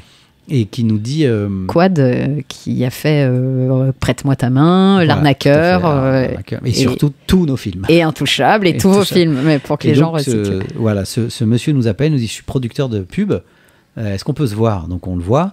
Et, il me dit bah voilà, j'ai envie de faire des longs métrages. J'estime avoir fait le tour de la pub, je veux Ouais. me diversifier. Voilà, j'ai envie de faire du long métrage. Alors nous on lui dit écoute, on sort de Dominique Farrugia, ça fait 4 ans. C'est compliqué de faire du long métrage. Oui, mais moi j'ai envie euh, avec vous. Alors et nous on lui dit bon, et nous est-ce qu'on peut faire de la pub? Alors il dit non non non, euh, les, les courts métrages que vous avez fait là ils sont sympathiques. Ouais. Ils sont mignons, Ouais. mais la pub, il faut un effet visuel, il faut, faut Ouais. une forme, il faut quelque chose. Donc, euh, non, non, non, c'est pas ça. Mm. Donc on se dit, mais putain, mais. Et lui, vous avez découvert sur des Des cours. festivals. Ouais, Court sur les métrage. festivals, Ok. sur les festivals. Il y a- on avait aussi des amis un peu en commun. On avait rencontré un réalisateur qui s'appelle Bruno Chiche dans un festival, Ouais, ouais, ouais. qui le connaissait Ouais. et, et, euh, qui nous avait dit Ah, ouais, ce, ce mec-là, vous pourriez le rencontrer. Et, euh, et en fait, et nous, on lui a dit Écoute, Nicolas, ouais, mais on n'en pouvait plus de travailler dans des cafés. Et on a dit Il nous faut un bureau. Ouais. Et bien, il nous a dit OK. Donc, il est rentré dans un bureau. Il a dit à une personne Tu dégages. ouais, qui Non. était une directrice de prod. Il lui a dit Écoute, tu vas travailler dans le bureau là-bas. C'est pas vrai. Et il nous a donné un bureau. Ok. Et, et- et là, ce jour-là, depuis qu'on a eu un bureau, Ouais. c'est, ça a été un, un vrai déclencheur. Donc, on lui a dit, à Nicolas, on lui a dit Écoute, on a une idée, Ouais. c'est euh, une colonie de vacances. Il s'est dit Écoutez, je vous mets là, Ouais. dans ce bureau, Faites ce que vous voulez. je vous paye. D'habitude, c'est pas comme ça que ça marche. Waouh, il te paye pour développer Ouais, comme alors ça. qu'il n'a rien lu. Ah ouais. D'habitude, on propose quelque chose et, on, et on développe. Belle opportunité. Voilà. Et là, euh, et c'est pour ça que dans tout ce qu'il a fait dans ces débuts-là, c'est une importance cruciale parce que on l'a jamais quitté et on le quittera jamais. Bah ouais, c'est C'est-à-dire que c'est incroyable ce qu'il a, fait. C'est-à-dire qu'il nous a vraiment euh, mis dans un écrin. Ouais. Et c'est une magnifique fabrique à faire des films, Quad. Il faisait des, certes des pubs et des petits films, mais il y avait tout là-bas. Bah ouais. Il y avait tout, on demandait, on avait tout, on pouvait avoir accès à tous les films qu'on avait à l'époque. Il y avait une banque de données, il y avait des, des gens qui faisaient des mood boards, c'est-à-dire des dossiers visuels et tout. Et on s'est mis à écrire. On Donc ton, premier salaire dans le cinéma Ouais. vient de lui. Ouais. Tu te souviens du premier chèque du premier Non, alors le premier chèque, c'est quand France 3 a acheté ses jours heureux. le, cours. Le court-métrage, où là, je m'en rappelle, mais tu peux même pas savoir. Et je rends hommage à Dominique Farrugia. Normalement, quand euh, une production achète, euh, euh, quand une chaîne achète à une production, il y a un pourcentage pour les réalisateurs Ouais, et ouais. pour la prod. Ouais. ouais, bien sûr. Et ben, Dominique nous a tout donné, à nous. Ah, ça c'est beau. Et je me rappelle, c'était, euh, je crois que c'était 8000 francs chacun. Ah ouais. T'imagines 8000 Ah ouais, francs 8000 francs à C'était l'époque. dingue. C'est énorme. Donc, je me rappelle de ce chèque Ah ouais. quand j'ai été amené à la BOC où il y avait 100 francs sur le compte. Bah ouais, c'est ça, tu ça. 8000 et là Ouais, tu te dis c'est bon, j'ai un pied dedans. Ouais, mais encore maintenant, je suis étonné de gagner de l'argent avec ce que je fais. ouais, quand bah même, hein. ouais, c'est normal un parce que c'est une fou. passion. Voilà, Ouais. c'est un truc de fou. Et donc, euh, Donc il te donne ce bureau, vous Voilà. vous mettez à on écrire. se met à écrire tous les deux et euh, frénétiquement, Ouais. frénétiquement, on se met à écrire nos jours heureux. Nos jours heureux, le premier scénario, il faisait 250 pages. Waouh. Tellement, tellement on avait de ressources, Ouais. tellement on en, tellement Mm. on en avait. Au milieu de l'écriture de nos jours heureux, au milieu de cette écriture, on fait lire donc à Nicolas et Les 250 pages. alors au milieu il y en avait 100 Ouais, si tu c'est- veux. oui, un, un- Ouais. un long métrage, c'est à peu près 90 à 100 Ouais, c'est pages 100 pour ceux qui connaissent pas trop. alors, les nôtres ils ont toujours fait 120 130 Ouais, ouais, ouais, mais bon, Toujours. c'est pas grave, on coupe après on un peu. pas. Et, euh, et au, au mi- au- au fil de l'écriture, Nicolas nous dit Personne me connaît dans les chaînes. Personne me connaît. Ouais. Personne vous connaît, hormis ces deux petits courts-métrages. Vous attaquez un film avec des mômes, Ah oui, c'est dur à gérer. ça va être dur à, ça va être dur à, à monter. Ouais. Ça va être dur à monter. Euh, il fait deux, trois tests comme ça et on voit que on n'y arrivera pas. On n'y arrivera pas parce que personne va risquer ça. Personne. Nous, on sait ce qu'on veut faire. Mais à lire, c'est compliqué. Des enfants, des animateurs, il n'y a pas vraiment de trajectoire et ça part, ça revient. Enfin, le scénario était compliqué à lire. Ouais. Et, et il nous dit ça va être, ça va être, euh, ça va être chaud. Putain, on se dit c'est pas vrai. C'est vrai, mais encore, ça va être chaud. Et il s'est passé du temps. hein. Les gens pensent qu'on y est arrivé vite, mais il y, a eu, il y a eu du temps. Et on a réfléchi avec Eric, on dit ok, on va faire un film pour le marché. Ok, on va faire un film pour le marché. Vous voulez, on va rentrer. La porte, elle était entrouverte. Ouais. On va foutre un grand coup. On va écrire un film pour le marché. C'est quoi un film pour le marché? Un buddy movie, des potes Ouais. On va prendre des potes. Et à l'époque, c'était la mode des speed dating, Ouais. de ce, de ce, de, de ce genre-là, de, de ces nouvelles façons de rencontrer Ouais. euh, des nanas. Ouais. Bref, pareil, un film référence, Robert et Robert de Claude Lelouch, avec euh, Charles Denner et Jacques Villeray. Voyez-le. Franchement, voyez-le. C'est deux mecs paumés, un flic, et, et, euh, des mecs paumés qui sont dans une agence matrimoniale. Bref, on se dit, voilà, il y a ce film-là. Claude Lelouch, il a été capital dans nos vies. Capital En influence. en influence, en tout, en conseil, en tout. Pour Ouais. nous, c'est un, c'est un, c'est un méga, méga modèle. Ouais. Et euh, dans ses choix de casting, enfin, je pourrais en parler, on fera un autre podcast. Ah ouais, ouais, avec plaisir. Ah, On pourrait appeler Retour dans les débuts de Claude Lelouch, de mais c'est Claude moi qui le Lelouch. fais. Ah bah grave. Bah écoute, si un jour je l'invite, euh, c'est toi qui Ah ouais, l'interview. non, Claude Lelouch, c'est, c'est- je suis inépuisable. Bref, et on se met à écrire un film, entre guillemets, calibré. ouais. calibré. C'est-à-dire que c'est un... Je l'ai revu il n'y a, pas- il y a pas très longtemps, évidemment, c'est compliqué de revoir ces films, mais C'est avec Gérard calibré. Depardieu Ouais, et Jean-Paul Gérard Rouff. Depardieu et Jean-Paul Rouff. C'était, c'était pas le casting initial, c'était pas Gérard, Ouais. mais il est arrivé, il, nous, il a sauvé le, le film en fait. Et on se dit, il y a un acteur. On était fan de la troupe des Robins des Bois. Ouais. On était fan de cette troupe-là. Donc on s'est dit, on va aller chercher un acteur qui est montant. Ok. Il tournait podium. Ok.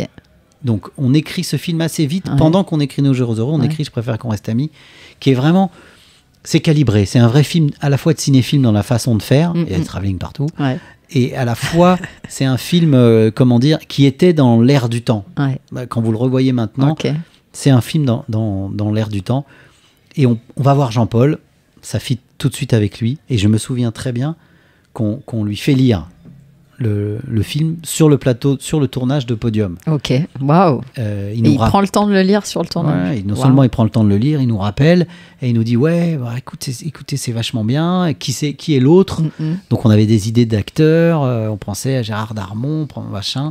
Bref, on a pas mal de refus. Et il nous dit mais moi j'en ai croisé un sur Re Ouais. qui est euh, Gérard Depardieu.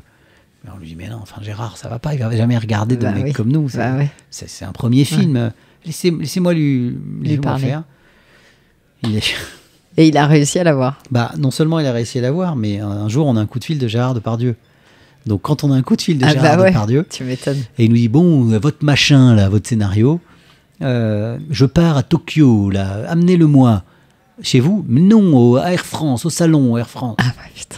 Scooter SV80, on avait un SV80 Ouais. à deux avec Eric. Ouais, On a été en scooter à Roissy ouais. et on lui a déposé le scénario avec nos deux DVD de court métrage. Il nous dit je vois pas déjà mes films, tu veux que je vois les tiens c'est pas On vrai. repart avec les DVD. Ah ouais. Ah ouais.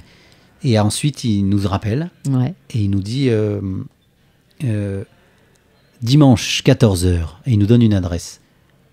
Il dit mais vous avez lu le- dimanche 14h avec le petit Jean-Paul.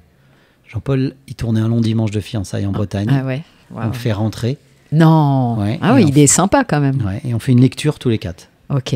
On le connaît ni, bah, on l'a Ah ouais, jamais. Première fois que tu le vois vraiment Ouais, euh, en prenant du vraiment. temps. Quoi. Ouais. Je sais ni s'il a lu, ni s'il veut faire le film. Et en fait, on s'est rendu compte qu'il voulait lire avec nous et qu'il voulait pas créer d'affect avant D'accord. Pour pas être euh, embarrassé de nous dire non. Oui, oui. Et ah ouais. aussi à Jean-Paul qu'il aimait beaucoup. Ok. Et, et c'est là où c'est un, des moments, des plus grands moments de, de notre, de nos- de notre vie avec Eric, c'est que on lit avec Gérard Depardieu notre premier script. C'est incroyable. Et on se rend compte qu'au fil de la lecture, Ouais. qu'il n'avait pas lu, Ouais.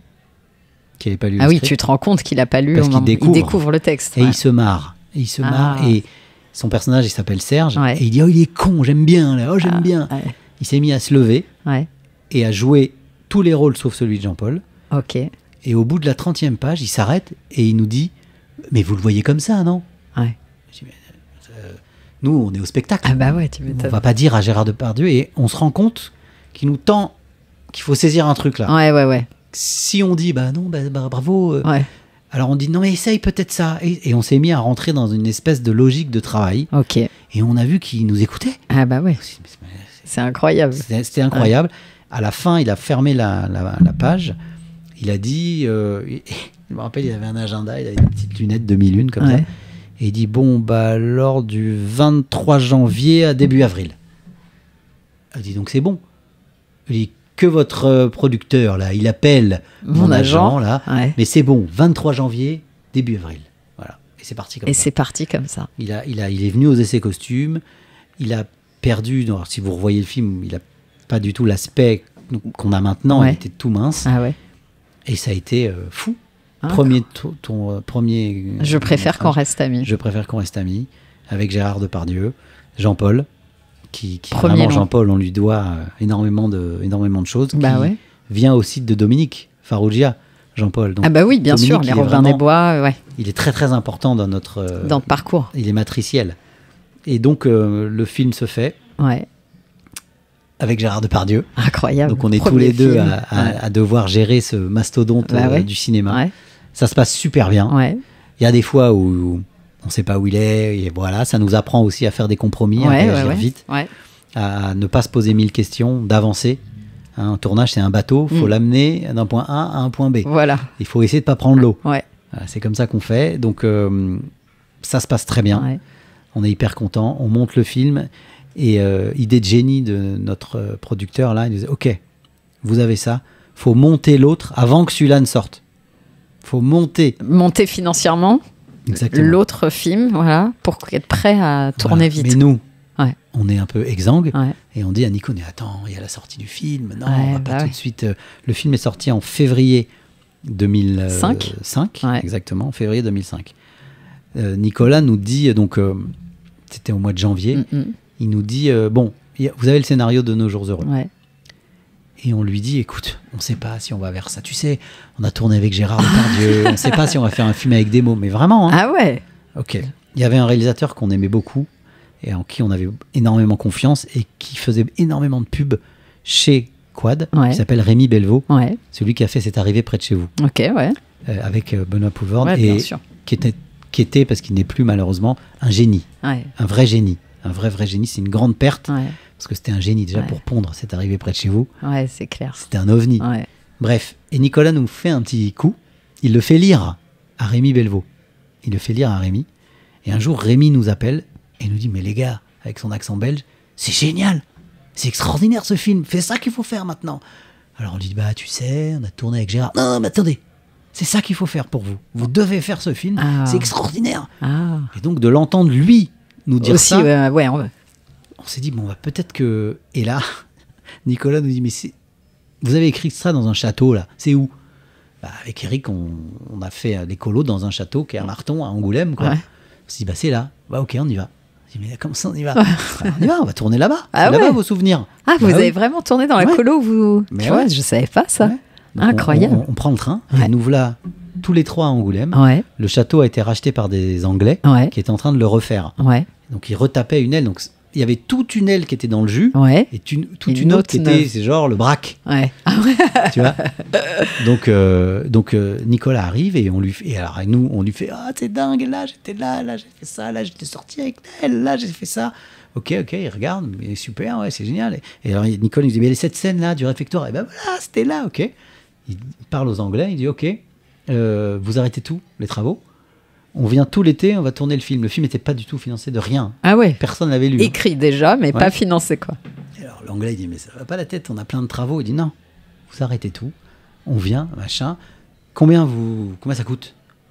Et il fait un chèque.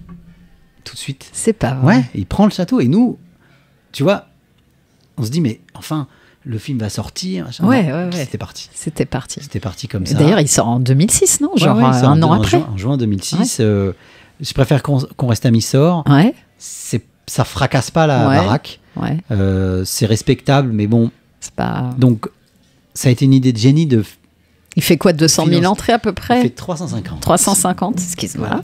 350. À l'é- À l'époque, la à fréquentation était haute. Ouais. C'était pas. non, top. Mais du coup, Nicolas avait envoyé le scénario à toute, à toute la chaîne de financement Ouais. Euh, en disant ils, ont fait, ils viennent de faire un film avec Gérard Depardieu qui va sortir. Donc le, film- le Oui, film s'est monté Ouais. avant que l'autre sorte. Ah ouais. Et ça, c'était c'était une, une grande idée. Et là, on retrouve Jean-Paul, Ouais. évidemment. Ouais, bah ouais. On retrouve Jean-Paul, on retrouve un des acteurs du court-métrage qui est Omar. Omar Sy, bien sûr. Et là, on s'éclate. C'est parti, on est sur le plateau, on, on- on connaît tout. On a fait des travelling, des steadicam, des Luma, des grues sur Je préfère qu'on reste amis. Ouais. Mais là, on se concentre sur l'histoire. Ah, On se concentre sur les. les- les- on s'est dit, si la caméra, c'est un enfant, Rémi Chevrin, le chef opérateur, à l'épaule. Et on est parti comme ça. Et on a bombardé euh, tout l'été, bah ouais. tout l'été, dans cette, cette aventure incroyable avec Jean Benguigui.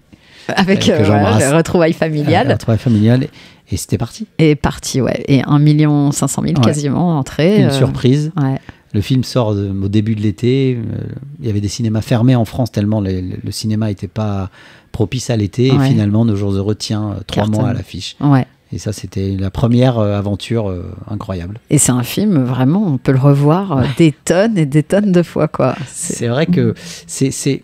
Il y a, y y souvent d'allégories, euh, enfin pas d'allégories, de rapports, de parallèles entre le cinéma et la culture et le vin. C'est-à-dire que c'est- que c'est pour faire un film, il faut planter une vigne, Ouais. il faut s'acharner, il faut bichonner, il faut réécrire, réécrire, réécrire, réécrire, réécrire. Je dis souvent, souvent que l'écriture, c'est la réécriture. Bah ouais. Et à un moment donné, il y a quelque chose qui pousse. Et après, ça grandit. Et ben, Nos Jours Heureux, c'est quelque chose qui a grandi de manière euh, incroyable. Ouais. Euh, évidemment, plein de mômes qui étaient même pas nés quand il est sorti. On nous en parle tout le temps. Bien sûr, euh, bien sûr. C'est super, ça a bien. Ouais. C'est intemporel. Et d'ailleurs, tu vois, tu parles d'écriture, d'écriture, puisqu'on est dans les débuts de quelqu'un qui fait du cinéma, qui veut faire du cinéma. Quand tu dis, euh, voilà, t'écris euh, euh, ton, ton premier long, et puis après, ils te mettent dans une pièce et tu dis, on réécrit, et tu fais un film vite. Euh, où vous avez appris la, la structure du scénario, euh, tout ça? Est-ce que vous avez laissé parler votre instinct et on vous a fait ouais. confiance? Ouais, on a laissé passer notre instinct. Il y a un autre truc, c'est qu'on a, on a vu et revu énormément de films. Ouais. On a vraiment revu énormément de films. Ouais. Et ce qui fait que, un bout d'un moment, c'est instinctif. Ouais. C'est pour ça que je dis que c'est un métier qu'on n'apprend pas. C'est super les écoles de cinéma Mm. parce que tu es avec des gens qui ont envie de faire la même chose que toi. Donc c'est un. Bien sûr. Il y a une énergie, mais il faut avoir quelque chose à raconter. Et puis, euh, à un moment donné, il faut faire. Voilà, il faut faire. Et l'écriture, c'est pareil. C'est comme euh, quelqu'un qui veut se mettre au marathon. Bah, il faut qu'il court beaucoup, beaucoup, beaucoup pour pouvoir faire le marathon. Bah, là, Mm. il faut écrire, écrire, écrire. Et d'ailleurs, euh, toujours maintenant, hein, quand on est en tournage, on n'écrit pas. Et donc, quand on se remet à l'écriture, et ben, on est courbaturé, et ça marche pas, et c'est nul, et tout est naze. On se dit, on n'aura plus jamais d'idées. Bah ouais. Et c'est ça, c'est tout le défi, quoi. C'est-à-dire qu'on. Là, on se remet à écrire, bah, c'est la page blanche, et on se retrouve comme, euh, comme au début. Mais c'est vrai que nous, on a été un peu réticents à, si vous voulez, au, au protocole. On a été réticents à- à- au séquencier, on a été ouais, réticents, alors que. Oui, il y a toutes les étapes de scénario classique. alors Ouais. que ce sont les, c'est une bonne méthode. C'est une bonne méthode, mais nous, on n'y arrive pas parce qu'on est très à l'aise dans les dialogues. Mm. Donc, on démarre par les dialogues, Ouais. et puis bon, c'est un bordel sans nom. Vous avez votre technique. On a notre, on a notre technique, on a notre technique, et puis euh, au bout d'un moment, d'un moment, un film, c'est une histoire qui part de, de- de A, qui passe, qui va, qui passe par euh, G, si c'est une histoire d'amour, qui arrive à, à R, à Z. Enfin, tu vois, on sait à peu près. Ouais. Après, c'est à nous de cacher les, les, les- on va dire les, les passages obligés, Ouais. les passages à niveau obligés. C'est à nous de les cacher et de rendre l'histoire singulière et, et originale. Mais ce, ce qu'il y a, c'est que c'est vrai que nous, pour on ne fait pas de commandes de films. On dit tiens, j'ai d'autres réalisateurs parce que Oui, ouais, vous faites que des films Ouais, que vous parce- écrivez vous. Bah ouais, parce Ouais. que hum, on sent une, une vraie responsabilité et ça doit être viscéral. Ouais. Un film, c'est comme euh, ça dure toute la vie. C'est comme une femme avec laquelle tu te maries, c'est toute la vie euh, normalement. Normalement. ouais. Euh, ce que disait Eddie Berkeley. Mais ce qui- pour les vieux auditeurs qui nous écoutent, ouais, s'ils ont la ref, Ouais, ouais. s'ils ont la ref, mais si tu veux, le truc c'est que c'est que hum, on a le temps passe tellement vite que j'ai du mal à me dire je vais passer deux ans sur un trois ans ou quatre ans sur un truc euh, bon je vais le faire puis après je ferai ça non ça marche pas comme ça bien sûr. on a besoin d'avoir un truc qui nous Qui vous parle. qui nous tracte ouais. et puis euh, putain le matin faut se mettre devant son ordi euh, c'est la page blanche il faut avoir envie d'écrire Mhm. sur ça donc le temps est un bon juge savoir si une idée une idée reste une idée passe mais c'est pour ça qu'on on met beaucoup de soin à, à trouver les, les sujets alors on a beaucoup parlé de choses qu'on a vécues ou des choses qu'on a traversées et c'est vrai que c'est pour nous c'est une bonne méthode mais on n'a pas vécu 200 000 vies Ouais, ouais, Donc, ouais. euh, ouais, ouais, c'est normal. Mais d'ailleurs, vous, vous vous enrichissez aussi, parce que bon, alors là, de- le dernier qui est sorti en date, c'est une année difficile. Euh, mais si on revient euh, à un autre gros succès que vous avez fait, Intouchable, c'était en voyant un documentaire sur euh, la vie de Philippe, là, ce, ce mec dont vous racontez l'histoire, que ça vous est venu.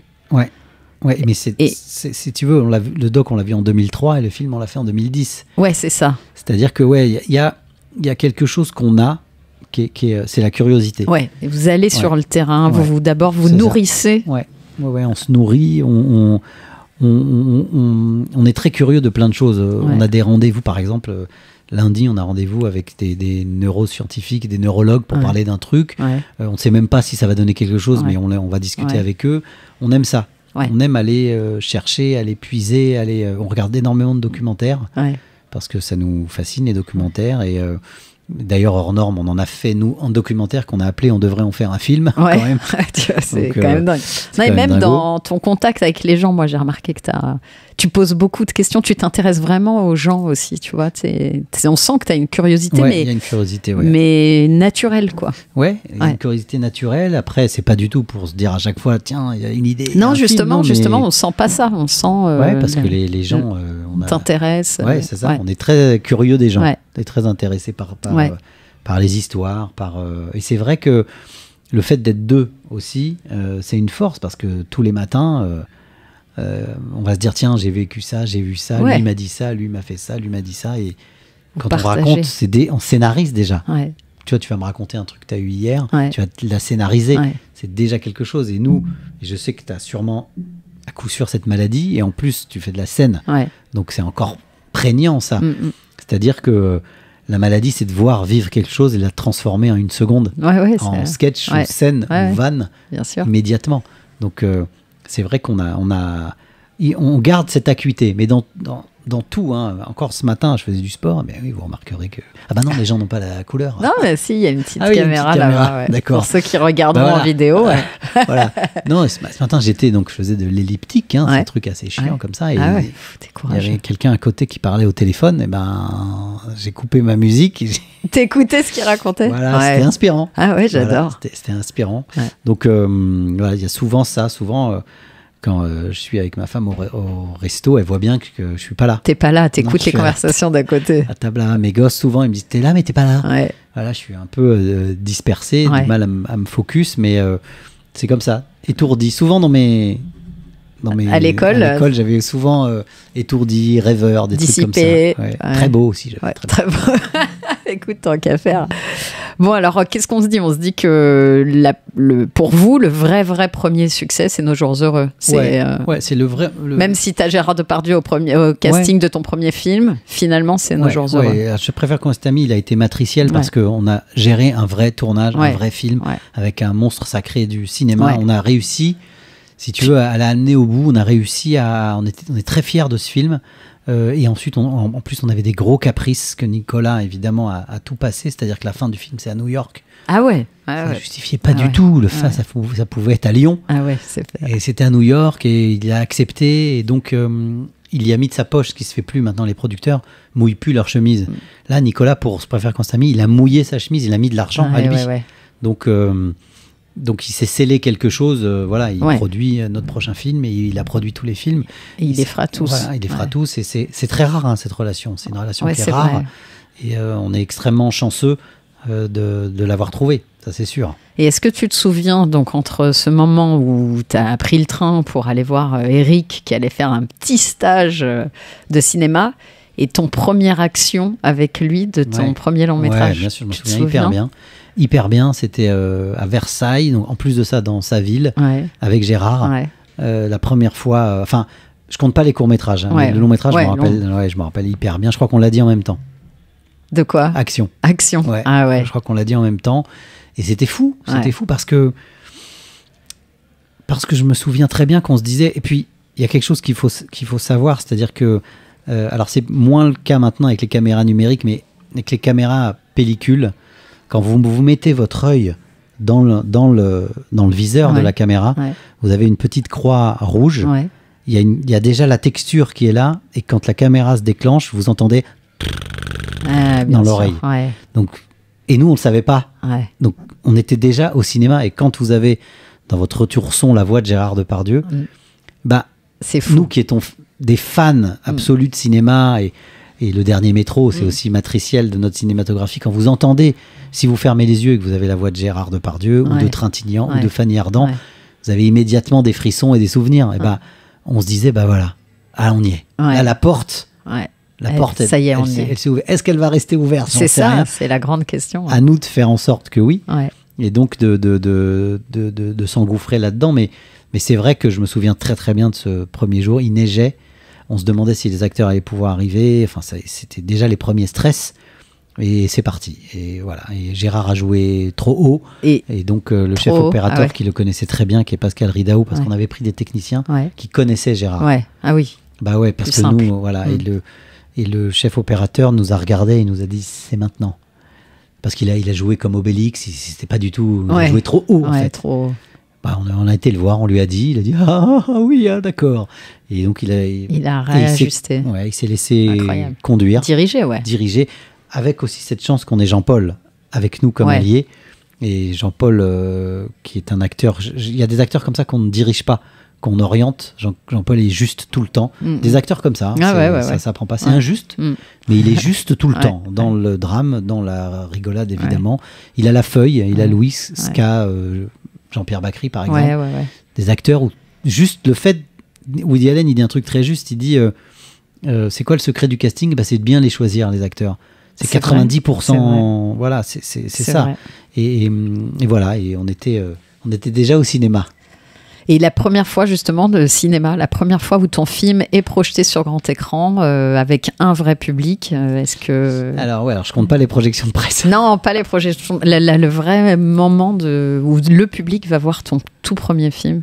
Ouais, alors ça, alors ces souvenirs-là, Ouais, ils ont été, euh, si tu veux, comment dire, il y en a d'autres depuis qui ont pris la place de Ah, ouais. des des projections, euh, plus forts. voilà, des, des projections euh, folles, Ouais. des, des choses complètement dingues. Ouais. Et et quand, quand tu fais une projection, euh, par exemple à Tokyo, Ouais. d'Intouchable, où tu te dis mais qu'est-ce qu'ils vont comprendre. Qu'est-ce qu'ils vont piger de, de- de toutes, les, toutes les vannes des cultures françaises. Omar, et, et que tu vois que les gens sont hilars et que pleurent à la fin, tu te dis bon, C'est fou. hein. Euh, Wolinski disait quelque chose qui est, qui est comme une- un mantra pour nous. Il disait le, le chemin le plus court entre un homme et un autre, c'est le rire. Ouais, Eh c'est ben, vrai. voilà, il a raison. vrai. Tu te marres avec quelqu'un, il y a quelque chose qui. Et on a tous en tête euh, un sommet qui était entre Clinton et Yeltsin, donc euh, les États-Unis et, et, euh, l'URSS, et c'était pas au beau fixe à l'époque. Il y a un fou rire entre eux. On se Ouais. rappelle de ce fou rire c'est entre vrai, eux. c'est vrai. Et on, on se dit, putain, c'est des hommes qui se humains, comprennent quoi. pas, quoi. Voilà. Ouais, Et ils carrément. se marraient. Et donc, euh, nous, on pense beaucoup, beaucoup à ça. C'est-à-dire que le- la comédie, euh, c'est peut-être des fois une élégance pour faire passer deux, deux, trois trucs, mais oui, on, se rappelle, moi, je me, je me souviens très bien de- des projections de, de notre premier film, comme ça, je préfère qu'on reste amis, où on regardait les gens. D'ailleurs, c'était le début des portables, Ouais. et on a, avec Eric, des collections de films de gens qui regardent nos films. Ah, ok. Voilà. On, on filmait les gens. Ah ouais, pour voir, Ouais, c'est ouais, on filmait incroyable. les gens pour voir est-ce qu'ils vont se marrer, est-ce qu'ils vont pas Ah se ouais. marrer, est-ce qu'ils vont être émus. Ouais, ouais, c'est toujours, on le fait toujours. Et euh, on a aussi énormément de de, de ouais, sons. de, de. De euh, son. Ouais, notre. Quand on a un petit coup de mou, on se met un petit son euh, de Jean-Pierre euh, qui regarde le ballon euh, dans le sens de la fête. Et on entend les salles, on entend les salles rire et ça nous fait du bien. Il n'y a pas, évidemment, c'est une question qu'à chaque fois que je l'entends, en plus, je sais pas pourquoi je vais te la poser, parce qu'à chaque fois que je l'entends, je suis journaliste, ça m'énerve, mais je sais pas pourquoi j'allais la poser. Donc, bon, tous- les films que vous avez faits, hors normes, Samba, Le sens de la fête, est-ce qu'il y en a un qui a, à part Nos jours heureux, une importance particulière ou qui a, qui a déclenché quelque chose de nouveau Ouais, alors, c'est vrai qu'on nous pose souvent cette question. Et je peux te dire, euh, évidemment, tous les films. Ouais. Dans tous les films, tu as appris quelque chose, ça a Ouais. déclenché quelque chose. De toute façon, pour nous, euh, une filmographie, c'est comme une corde à nœuds. hein. Chacun, euh, il est raccroché à l'autre, qui est raccroché à l'autre. Mais je dois dire que le sens de la fête, c'est particulier.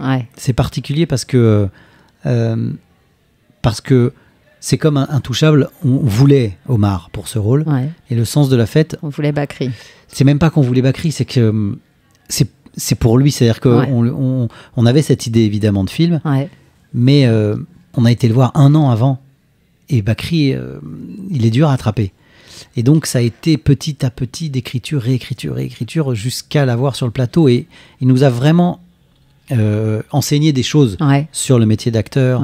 Sur ce qu'il appelait la feuille. La feuille, c'est Louis. Ouais. Est-ce qu'une scène sonne, un dialogue Ouais, sonne la musicalité Voilà, la, la musicalité, début, milieu, fin. Ouais. Euh, on a eu cette chance aussi avec François Cluzet. François Cluzet il nous avait appris, euh, quand on faisait des lectures, il nous disait Mais je l'enlève ce dialogue, je vais le jouer, je vais pas le dire. Et parce qu'il nous disait des fois dans des non-dits. Bien sûr. Et ça, on a poussé ça tellement loin Ouais. jusqu'à en thérapie. Ouais. Oui, dans les silences, on en Ouais. dit beaucoup plus. Donc on a, on a, on a chaque, euh, chaque tournage t'apprend des choses. Euh, mais le sens de la fête, ça a été vraiment un moment particulier Mm. parce que euh, Bakri était de tous les plans. Euh, parce qu'il y avait cette troupe d'acteurs autour de lui qui restaient quand ils ne jouaient pas eux. Ils, rest- ils avaient fini leur scène. Donc Ouais. tu dis à un acteur, t'as fini, je passe à une autre séquence. Ils restaient Ouais. pour voir Jean-Pierre jouer. Ouais, c'est fou. Donc c'était complètement, complètement dingue. Et, et on a appris la- la- cette musicalité. Alors lui, il a un phrasé particulier Mhm. hein, qu'on adore. hein. ouais, bien sûr. Euh, moi, je déteste qu'on me dise Bakri fait du Bakri. J'ai Bah. pas envie que Bakri fasse du Hauteuil Bah, ou sûr. du Lucchini. Ouais, c'est lui, quoi. euh, donc c'est normal. Tu vas pas pousser les gens dans des choses qui, qui- Bien sûr. qui ne sont pas eux. Et donc, il nous a vraiment appris la musicalité des dialogues. Ouais. Et je me souviens très bien, on a fait énormément de lectures avec lui. Et hum, c'est là où que ça se construisait. Et, et il était très respectueux du travail, euh, de notre travail. Mais en début de journée, il venait et je me rappelle, il levait son doigt et disait Est-ce que je peux vous parler une minute? Alors on disait oui. Ouais. Est-ce que là, je pourrais pas dire ça à la place de ça? Bah, Bah ouais. bah, euh, Ouais. ne demande pas. Ouais, c'est ça, ouais. Voilà, et surtout, elle euh, le- il était aussi, Cluzet aussi à ça, c'est des formidables partenaires. C'est-à-dire, c'est des partenaires. Quand ils sont sur un plateau, c'est des partenaires. Et puis- ils, ils sont avec toi, ils, ils sont, ils sont, euh, ils vont jusqu'au bout. Ils vont jusqu'au bout et ils sont aussi très généreux avec les autres acteurs. Ouais, Euh, je me rappelle très bien que ce soit François ou que ce soit euh, Jean-Pierre, ils nous donnaient des idées de vannes pour les autres acteurs. c'est fou. Donc, euh, donc oui, le sens de la fête, il est évidemment la disparition de Jean-Pierre fait Ouais. que il a une place particulière ce, ce film, mais ça a été un moment euh, assez euh, assez beau, le, le tournage, euh, le, le- c'était très fluide, tout a été très fluide. Ouais. Humble et généreux, parce que humble, il y a tellement d'acteurs, de grands acteurs, qui te poseraient pas la question de est-ce que je peux changer ça. Il va, il va tu dis action Ah ouais. et puis il va faire exactement comme il veut. Si si, mais on aime bien ça nous, on Ouais, ouvre la porte. c'est bien. On ouvre la porte. Et j'ai eu une petite anecdote qui vient. Je me souviens que euh, pas très loin d'ici, on a appelé Gilles Lelouch, Ouais. qu'on connaissait depuis les festivals de court-métrage, Ouais. parce que avec Tristan Rouet, ils ont fait des, des courts-métrages aussi qu'on cartonné. Et j'appelle Gilles et je lui dis écoute, Gilles, j'ai un, il y a un truc là, euh, est-ce qu'on peut te voir avec Eric Euh, Ok, bon, on le voit et on s'aime beaucoup, quoi. euh, et on lui dit bah voilà, euh, on a un film, mais c'est c'est pas le premier rôle. euh, Ouais. c'est un petit rôle. euh, ouais, ouais, il nous dit, ouais, avec sa tête, ouais, ouais, c'est pas le problème, ouais, pas de problème, ouais, c'est pas loin, machin. Voilà. euh, Il nous dit, mais il y, a- il y a qui d'autre avec moi? Et on dit Jean-Pierre Bacry. Ah ouais. Et il nous dit, bah, c'est bon. Alors on lui dit, Gilles. Il lit quand même, Gilles, lit Gilles, le petit rôle de photographe. Non, non, Gilles, c'est le chanteur. Et c'est le chant. Ouais, oui, Gilles, chanteur. Gilles, Ouais. Gilles, je confonds avec Jean-Paul. Elle lui dit, mais Jean- Gilles, lis quand même. Vous êtes fous. Il y a vous, il y a Jean-Pierre, Ouais, il y a Jean-Paul bon. Ouais. Vous êtes fous. D'ailleurs, il est excellent dans ce rôle. Vous êtes fous. Ouais. Je, je dis oui, Gilles, lis quand même. Et évidemment, il a lu. Et en fait, Jean-Pierre, c'est un, un aimant à, à acteur. Et, et je me souviens très très bien de Jean-Paul qui euh, un jour nous a dit Je vous remercierai jamais euh, assez de, de m'avoir permis de vivre ça Mm. avec, euh, avec Jean. Mais c'est- vraiment un être à part. hein. Alors évidemment, ça fait toujours un peu. euh, C'était un monsieur. Ouais, C'était c'est un vraiment monsieur. qui avait une- un regard sur la vie, parfois radical, très radical, Ouais, cohérent avec lui-même de bout en bout. ouais. Euh, voilà, c'est comme François, je parle aussi de François, mais c'est parce que c'est la même génération, mais ils disent bonjour à chaque personne sur un plateau le matin, que ce soit le petit régisseur, que tout le monde, ouais. tout le monde avant, de- avant de tourner. Donc ça, c'est assez euh, respectable et Ouais. c'est aussi notre euh, vision à nous du, Ouais, du métier. C'est ce que j'allais euh, dire. Mm. Et donc, euh, c'est, on tire de grands enseignements. Et autre chose aussi, il y, a- il y a quelque chose qui est vraiment important. Alors, ça paraît euh, un truc de la palisse, comme on dit, mais il connaissait le texte sur le bout des ongles. Ah ouais. Le bout des Mm, ongles. mm. C'est-à-dire que. Et ça, c'est, c'est dingue parce qu'en en fait, ils sont libres. Ils Bah, sont, bien ils sont sûr. libres. Et je me souviens aussi. Plus tu connais, euh, plus tu t'amuses. Je me rappelle aussi de hum, Isabelle Carré, Ouais. pour tellement proche. Ouais. Je crois qu'elle connaissait le scénario par cœur en entier. Et ça, Ah ouais. non mais c'est une force. Alors Ouais. évidemment, on va me dire, mais attends, c'est normal. C'est un acteur, c'est son métier. Pas toujours le cas. Et quand un acteur connaît pas son texte, il va se rattraper à lui et donc il sort du personnage pour se rattraper à lui et c'est plus le personnage, c'est lui. Donc euh, je me souviens très bien de, il y avait des lectures avec Jean-Pierre où il connaissait déjà le truc archi par cœur. On se disait mais c'était fantastique. Ouais, c'est génial. fantastique et du coup, dans le sens de la fête, comme tous les acteurs jouaient à un moment ou un autre avec lui, bah, ils étaient au, au diapason. Et alors, je vous passe Benjamin Laverne, la comédie française. Ah ouais. Alors là, je vous, je vous passe Ouais. ces moments de, de bonheur avec cet, cet acteur-là. Enfin voilà, c'était un, c'était un rêve. Bon, et tu parles d'acteurs, justement, d'actrices. Euh, Est-ce que tu parles de rêve? Est-ce qu'il y en a un, une Ouais, euh, qui vous fait rêver? Euh, oui, oui, il y, a- il y a des- acteurs, nous, il y a des acteurs qui nous font rêver, euh, ça c'est certain. Il y a Alain Chabat qu'on aime beaucoup. Ouais. euh, qu'on n'a pas accroché à notre, notre tableau, ouais. mais Ouais. on a eu éno- énormément de chance Mm. déjà. Ouais, Al- Alain, c'est quelqu'un qu'on aime bien. On aime bien Louis Garrel. Ouais, Louis Garrel. Je pense que Louis Garrel, on l'a vu dans, dans le film qu'il a réalisé dans L'Innocent, il, est- il a la double adoré. nationalité. Il est à l'aise dans le drame et à l'aise dans la comédie. Ouais. Euh, Ouais, son film mélange les deux, d'ailleurs. Il est... Ouais, il y, en a- y en a un autre aussi euh, euh, qu'on a déjà eu, mais enfin. Alors, il dit qu'il veut plus être acteur, mais on sait Mathieu Amalric, Ah ouais qui est quand même incroyable, Ouais, ouais. qui est quand même une personne incroyable. Non, il y a plein de, de- il y a plein d'acteurs qu'on aime bien, et ma sœur aussi. Bah oui, quand même, ta ma sœur, ma sœur, Donc- bien un jour qu'on croise le fer. Bah ouais. Ensemble. Donc tu dis elle est plus jeune. Tiens d'ailleurs un petit Ouais. petit mot quand même sur Géraldine. Tu, tu penses que tu lui as transmis cette passion? Non. Elle a baigné dedans? Elle a. Non, je pense qu'elle a. Si j'avais été euh, autre chose, je pense qu'elle aurait fait quelque chose d'artistique très Ouais. vite. Je lui ai peut-être fait gagner du temps. Ouais. C'est-à-dire que tout de suite, elle a fait un- une première option cinéma, Terminal Cinéma. Elle a tout de suite fait un court métrage. Elle a eu un prix avec son premier truc. Ouais. Elle a eu un prix. Et puis bon, elle a quelque chose euh, que moi je n'ai pas. Elle a le jeu. Oui, alors elle justement, elle elle, a elle, le elle- elle multiplie les casquettes. Elle est Ouais. devant la caméra, derrière la caméra. Et... Ouais, elle m'étonne. Elle a un naturel. Elle a un naturel qu'ont ces actrices-là qui sont bah, Leïla, Adèle. Ouais. euh, je vais te laisser dire de famille. Exarchopoulos. Ouais, j'y arrive pas non plus, mais. Euh, elle a ça. Ouais. Elle a ce- cette chose-là, hein, cette, cette feuille qu'on n'apprend pas. Et elle est très, très étonnante. Quand je la vois là, euh, euh, j'ai vu un film là récemment, euh, Je suis pas un héros, Ouais. dedans avec Vincent de Dienne. Elle, elle m'explose. quoi. Elle, est, elle est géniale. Elle est vraiment géniale. Donc, euh, il y a. Alors, il y a donc des acteurs dont on. Voilà, je parlais d'Alain, de Louis. Des acteurs qu'on. Et il y a aussi autre chose qui nous intéresse, c'est toujours pareil, on aime aussi euh, découvrir. On aime ça. Des nouveaux talents. Ah, des nouveaux Ouais. talents. On aime euh, aller à la recherche comme ça. euh, Joséphine Demeaux pour Nos Jours Bah, Heureux. bien sûr. Et il y a, et il y a Idara. Ouais. On aime ça. On Ouais. aime aller aussi à la rencontre. C'est vrai que vous avez révélé quand même pas mal d'acteurs quand même. Ouais, c'est Et tout le monde rêve de jouer dans vos films. non, mais c'est vrai. Les jeunes acteurs disent toujours, pour moi, la consécration, ce sera quand je serai dans un film de Nakash et Toledano. En, en tout cas, ce qui est sûr, c'est qu'un jour, on aimerait. On se le dit souvent avec Eric. On a, Mm. alors, on a pas mal d'idées, de Ouais. trucs, mais on aimerait faire un jour un film euh, euh, comme l'avait fait, euh, comme l'avait fait Capiche avec l'auberge espagnol, enfin avec des jeunes, Ouais, plein de jeunes. forcément pas Pas connus. Ça aussi, c'est un, un truc qui nous qui nous excite. Ça nous avait excité dans Hors Norme. On avait trouvé ce, ce jeune qui s'appelle Brian, Ouais, qui joue le, le jeune éducateur ouais, ouais. euh, de, de Valentin. Mais ça nous excite beaucoup. Ça nous excite de mélanger, de toute façon, de, de mélanger acteurs, non-acteurs, euh, euh, connus, pas connus, pro, pas pro. On, aime bien les, les mélanges. Et vous, euh, de vous mettre devant la caméra, ça t'a jamais Ah non, tenté, quoi Non, non. Bon, il y a, Non, il y a eu pas. une ou deux Non. petites apparitions rapidos, mais comme beaucoup de réals, mais c'est Ouais, très furtif. C'est très furtif. Non, Ouais, je, je, c'est pas je ton sais truc. pas. Non, c'est pas. Peut-être peut-être un jour. Je, je, je- j'en sais rien. Mais en fait, on a tellement, on aime tellement les acteurs. Ben ouais. Vous avez être envie d'être au service plutôt des acteurs. C'est ça. Et puis euh, de les, emmener avec nous dans une, dans une aventure. hein. Tu vois, là, ce qu'on a fait avec Jonathan euh, Cohen, puis Omar Maï et Noémie Merlan, Mm. c'est fant- c'est fabuleux. Ouais. C'est une, ch- une chance euh, incroyable Ouais. de, de jouer avec ces. Et je, je passe du coq à light, mais il y a une génération qui arrive là. Attention. Ouais, hein. ouais. Bah, tous Attention, les, hein. bah, les Raphaël Quenard et tout maintenant, c'est déjà. euh, attention. Mais c'est vrai qu'il y a une jeune génération Ah ouais. qui arrive, euh, Ah ouais, il y a- qui il y a- sont il y a- forts. Ils vont, ils, ils vont tout péter. hein. Ouais, il y a une, jeune comédienne qui s'appelle Luana Bajrami que j'adore. Ouais, Euh, Il y a Anna Maria Bartolomé. Enfin, il y en a plein. ouais.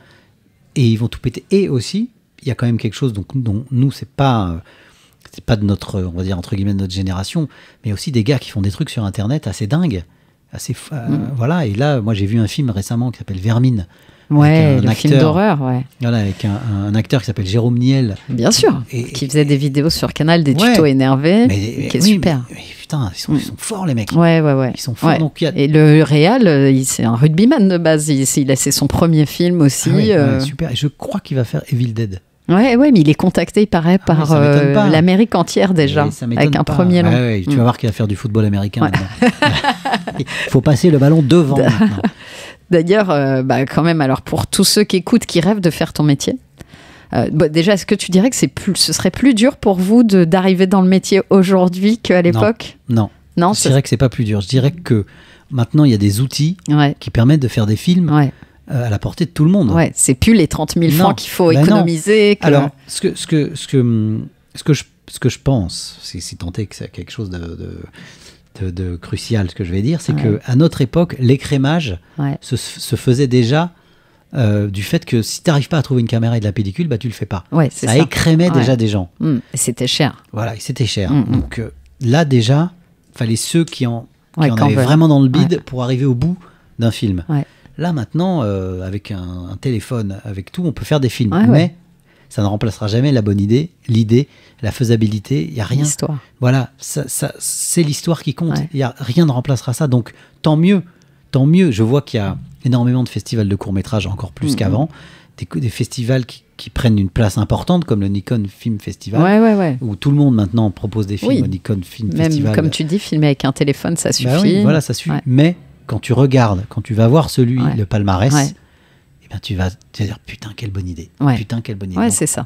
il faut faire. Ouais. Voilà. Faites, si vous voulez, faites une école de cinéma, c'est génial parce que tu vas être avec des potes et tu vas dire tiens bah toi tu fais le son, toi tu fais ça. Mais il faut faire. Mm, Il mm. faut faire, faut monter, faut faut se cogner le faut se cogner le terrain. Ouais. Et alors, euh, bah, si je retiens deux euh, grands conseils que tu as donnés ce matin, quand même, c'est ça c'est déjà, bon, ne rien lâcher, raconter quelque chose, Mm. dire le maximum sans dialogue. Ça, le c'est non dit, le non-dit. dit, il y a beaucoup Ouais. de dit. Ouais. Et Ouais, ça, c'est vrai qu'il y a beaucoup de cinéastes qui le, qui le disent aussi. Et euh, de rien lâcher, parce que t'as faut- rien lâché. Non, faut rien lâcher, faut, faut en avoir envie et Ouais. faut être sûr de ce, de, de ce qu'on a envie. Voilà, faut être sûr. Je- on- on- avec Eric, on fait beaucoup de rencontres avec des, des jeunes, euh, des jeunes qui sont en école de cinéma et tout. Et il faut être sûr de ce qu'on a envie. Voilà, c'est un métier qui est difficile. C'est compliqué, c'est dur de faire un film, rien n'est simple. Mais euh, si ça te brûle dans le bide, ou les comédiens, souvent on est des comédiens, si ça te brûle dans le bide, eh ben, eh ben faut y aller, quoi. Faut y aller. On est chanceux. Euh, faut savoir que je pense, c'est comme, euh, je vais donner une image, on est 500, Ouais, tout le monde lève la main, puis on nous dit, toi, vas-y, qu'est-ce que t'as à dire? Ouais, C'est une chance. ouais, c'est une chance. C'est une chance. Et c'est, beaucoup d'argent. Mm. C'est un tournage, ça coûte cher. Il y a du monde, faut payer tout le monde. C'est compliqué. Voilà. C'est pour ça qu'il y a deux choses que je dirais. S'il y a des jeunes jeunes qui nous écoutent, Bah ouais, qui rêve de faire ce métier. faites des colos. Ouais. bah ouais. Parce qu'un tournage, c'est comme une colo. faut Ouais. gérer des, des Des gens, acteurs, ouais. des enfants, des animateurs. Des C'est la même chose, des humeurs. C'est des compromis à faire toutes les deux secondes. Donc, euh, c'est un, un bon, un bon apprentissage. Voyez des films le plus possible. Soyez curieux. Ouais. Soyez curieux, c'est-à-dire que moi, je faisais quelque chose. Alors, j'avais ce vidéoclub où je voyais tout. Mm. Mais par exemple, euh, vous voyez un film, vous allez dire, oh, pff, oh là là. sortez de l'algorithme, sortez du calcul, sortez du de fait d'aller voir toujours des choses où on- qui sont faites pour vous. Ouais. Allez, faites le pas de côté et on sera jamais déçu.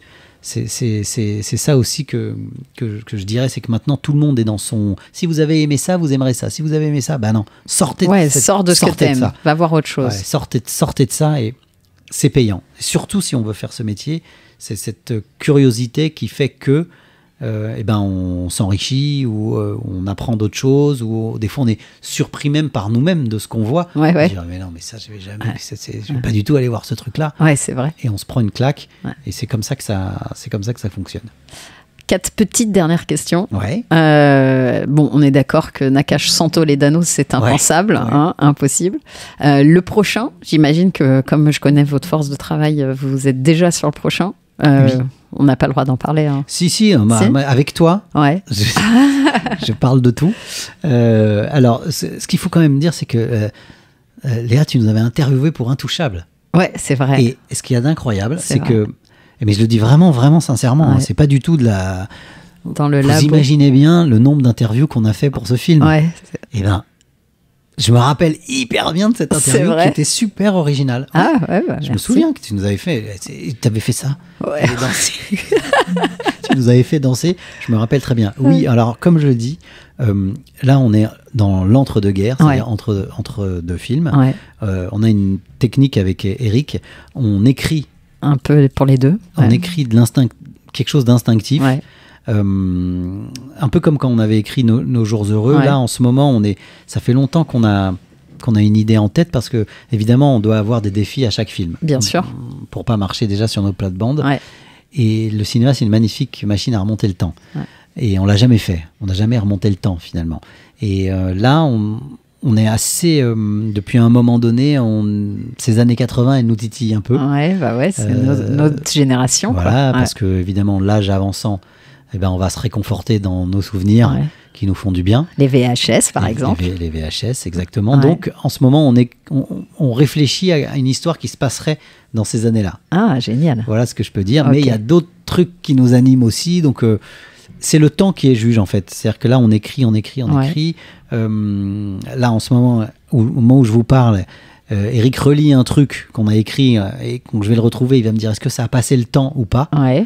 Ah ouais, Euh, tu bah laisses oui, un petit peu, d'accord, tu Ouais, laisses ouais, reposer On quoi. laisse reposer Comme une pour, voilà, pour voir si ça a passé le temps et surtout pour voir si on a envie de s'y mettre. Ok. Donc il y a ça, il y a d'autres d'autres histoires. On est en train de voilà, on, on- on réfléchit. Mais c'est vrai que de manière empirique, on aimerait bien un jour faire un film où il y a une petite reconstitution historique parce que c'est magique. Ouais, c'est vrai. Parce que c'est magique. Ouais. Voilà. Et de retourner vers le début. Ouais, retour vers le début, c'est C'est pour vrai. ça que je comprends euh, des fois Romain Gary qui a, qui a inventé Émile Ouais. Ajar, Ouais. de se dire comment serait vu un film lesté de tout un background, Ouais, c'est-à-dire allégé de tout un background. Ça aussi, c'est intéressant. Ouais, c'est vrai. Mm. Alors, euh, deux dernières questions. Euh, Est-ce que tu as deux, trois films, euh, à- à- en fait, trois films, soit qui ont marqué ta vie, soit euh, qu'il faut absolument voir, hormis ceux que tu nous as cités déjà euh, dans ce podcast D'accord, c'est toujours compliqué. C'est dur, hein Ouais. Euh, alors, de manière. Ou un, un grand, un grand. Non, non, non, tu m'as dit trois, moi je Bon, respecte. Bah Je vas-y, alors, j'adore la générosité. Il y a un film des Torres Scola qui s'appelle Nous nous sommes tant aimés. ouais, Ne réfléchissez pas. ouais, Voyez-le. ouais, Passez les 15 premières minutes. Acharnez-vous. ouais. Et regardez-le jusqu'au bout. Je vous donne juste une petite anecdote. Il y a 5-6 ans, on a une carte blanche au festival de court-métrage de Montpellier Ouais. où on avait gagné un prix avec euh, les petits souliers, Ouais. où on a été euh, invité. Et on, elle nous a dit Vous avez 2000 étudiants, qu'est-ce que vous voulez leur montrer? On a dit Nous nous sommes tant aimés. Nous avons dit C'est un film italien, en couleur et en noir et blanc, donc sous-titré. Il y avait 2000 jeunes dans la, Ouais. dans la, dans la salle, donc on a dit Voilà, on va vous montrer un film italien. Oh, on a senti une rumeur. Voilà, en noir et blanc. Euh, monsieur, euh, sous-titré. bah ouais, c'est trop. Oh non, on se fait chier, on se fait chier de ce film ou pas Voilà, on a eu ça et on leur dit écoutez, faites-nous confiance. Tenez. Voilà, Tenez. faites-nous confiance. Ouais. Je peux vous assurer qu'à la fin du Ouais. film, il y a eu un tonnerre d'applaudissements et il y a des jeunes qui sont venus dire mais pourquoi on- où est-ce qu'on qu'est-ce qu'il a fait lui comme autre film? Ah ouais. Voilà, nous nous sommes tant aimés des Torres Scola. Vous allez comprendre pourquoi c'est un film que vous pouvez revoir tous les 5 ans Ok. parce que vous découvrirez autre chose Ouais. l'âge avançant. C'est un film sur euh, vraiment qui a sondé euh, l'âme humaine. Je jump. Ouais. Il y, en a, il y a un film qui est Le goût des autres Ouais, bien de sûr. Jean-Pierre Bacry et Bah ouais. Jaoui. Alors ça, faut le regarder pour euh, comment on construit des personnages, Mm, le non-dit mm. Ouais. dans ce film, sur les préjugés des gens, comment l'humour se niche dans des endroits. C'est un formidable film avec plein de petits tableaux comme ça, et c'est vraiment à, à voir. Et il y en a... ah putain, j'en ai quatre. Ah, vas-y, génial. je t'en donne un j'en en ai, j'en ai rab. dix. Vas-y. c'est sympa. C'est sympa. Alors, il y en a un que j'ai parlé, qui est l'aventure, c'est l'aventure, hein, Ouais, la comédie. ouais, ouais. Ça, vous pouvez le voir.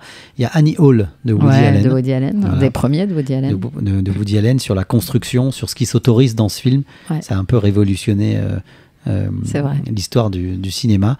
Et alors j'en ai, ai un autre aussi qui moi m'a mis une vraie tarte, qui est pour moi, euh, c'est un des films où c'est la première fois où on est dans la musique. C'est le film qui a pour moi le mieux reflété ce que procure la musique au cinéma, c'est Whiplash. Ah, bah oui, Clash. Voilà. J'ai adoré. Whiplash. Si vous voulez faire du cinéma, Mm. regardez Ouais, et ouais, ouais. regardez Whiplash sur le rythme, sur ce pareil sur ce qui s'autorise, sur l'histoire. Et c'est pour moi le film le plus musical, mais viscéralement. Ouais, ouais, c'est vrai. on est avec lui, on vrai. est derrière sa batterie, Ouais. on ressent chaque coup qu'il Mm. met et voir comment Damien Chazelle a, a réussi ce tour de force là Ouais. pour nous faire rentrer euh, dans le film. Donc voilà, et, évidemment le Père Noël est une ordure. c'est marrant parce que tu, tu parles de Whiplash, tu me fais la transition sur ma toute dernière question, tu l'as fait naturellement. Euh, Il y a le, le thème du film de Whiplash est extraordinaire, vraiment. Faut, même, même quand on n'aime pas le jazz, il y a un truc qui te... Et ben ma dernière question, c'est celle que je pose à chaque fois. Si tu devais dire, durant les retenir... dix dernières émissions que tu as faites. C'est-à-dire celle d'avant et celle que Ouais. je ferai sur toutes les autres et qui est vraiment, tu vois, et tu peux le lire sur Ouais. ma feuille, la chanson ou la musique qui ferait la BO du film de ta vie. Ah putain, oh là là, C'est dur. la chanson. euh, Une chanson qui ouais. te parle ou une musique qui, pour toi, serait une magnifique BO pour euh, résumer le film de ta Ah, vie. putain, il me faut un peu de temps, tu vas faire du montage. C'est dur, hein Ah ouais, c'est dur, mais c'est c'est une super bonne question. Ouais, J'adore cette question. c'est une super bonne question. Ouais, qui, qui serait. euh, euh, le- non, j'avais un slogan publicitaire, mais c'est une bonne chanson. J'avais Just Do It. Mais attends, c'est ah, c'est- une bonne question ça. Hein. C'est une bonne question. Parce que la musique, c'est tellement dans le cinéma. On... Ouais, le ouais, temps non. que tu réfléchis, je peux faire cette parenthèse-là, Ouais, c'est que c'est que les émotions se, se- se nourrissent aussi, enfin se décuplent avec une, la bonne musique, euh, que tout ça, euh, on, on parle de la réalisation des films, mais Ouais. le montage, la musique, et vous, vous avez toujours des musiques incroyables dans vos films. Ouais. Dans une année difficile, la BO, elle Ouais. est extraordinaire.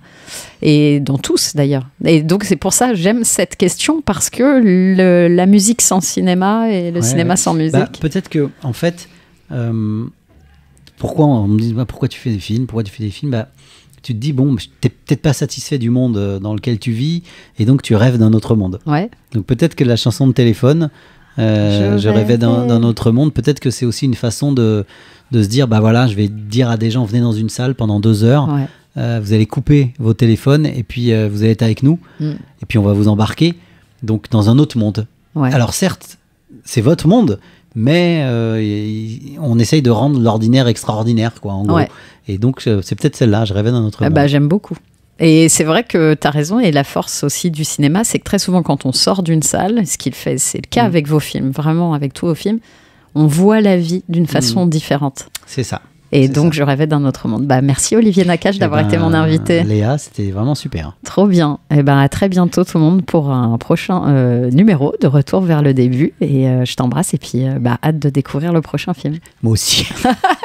Bisous.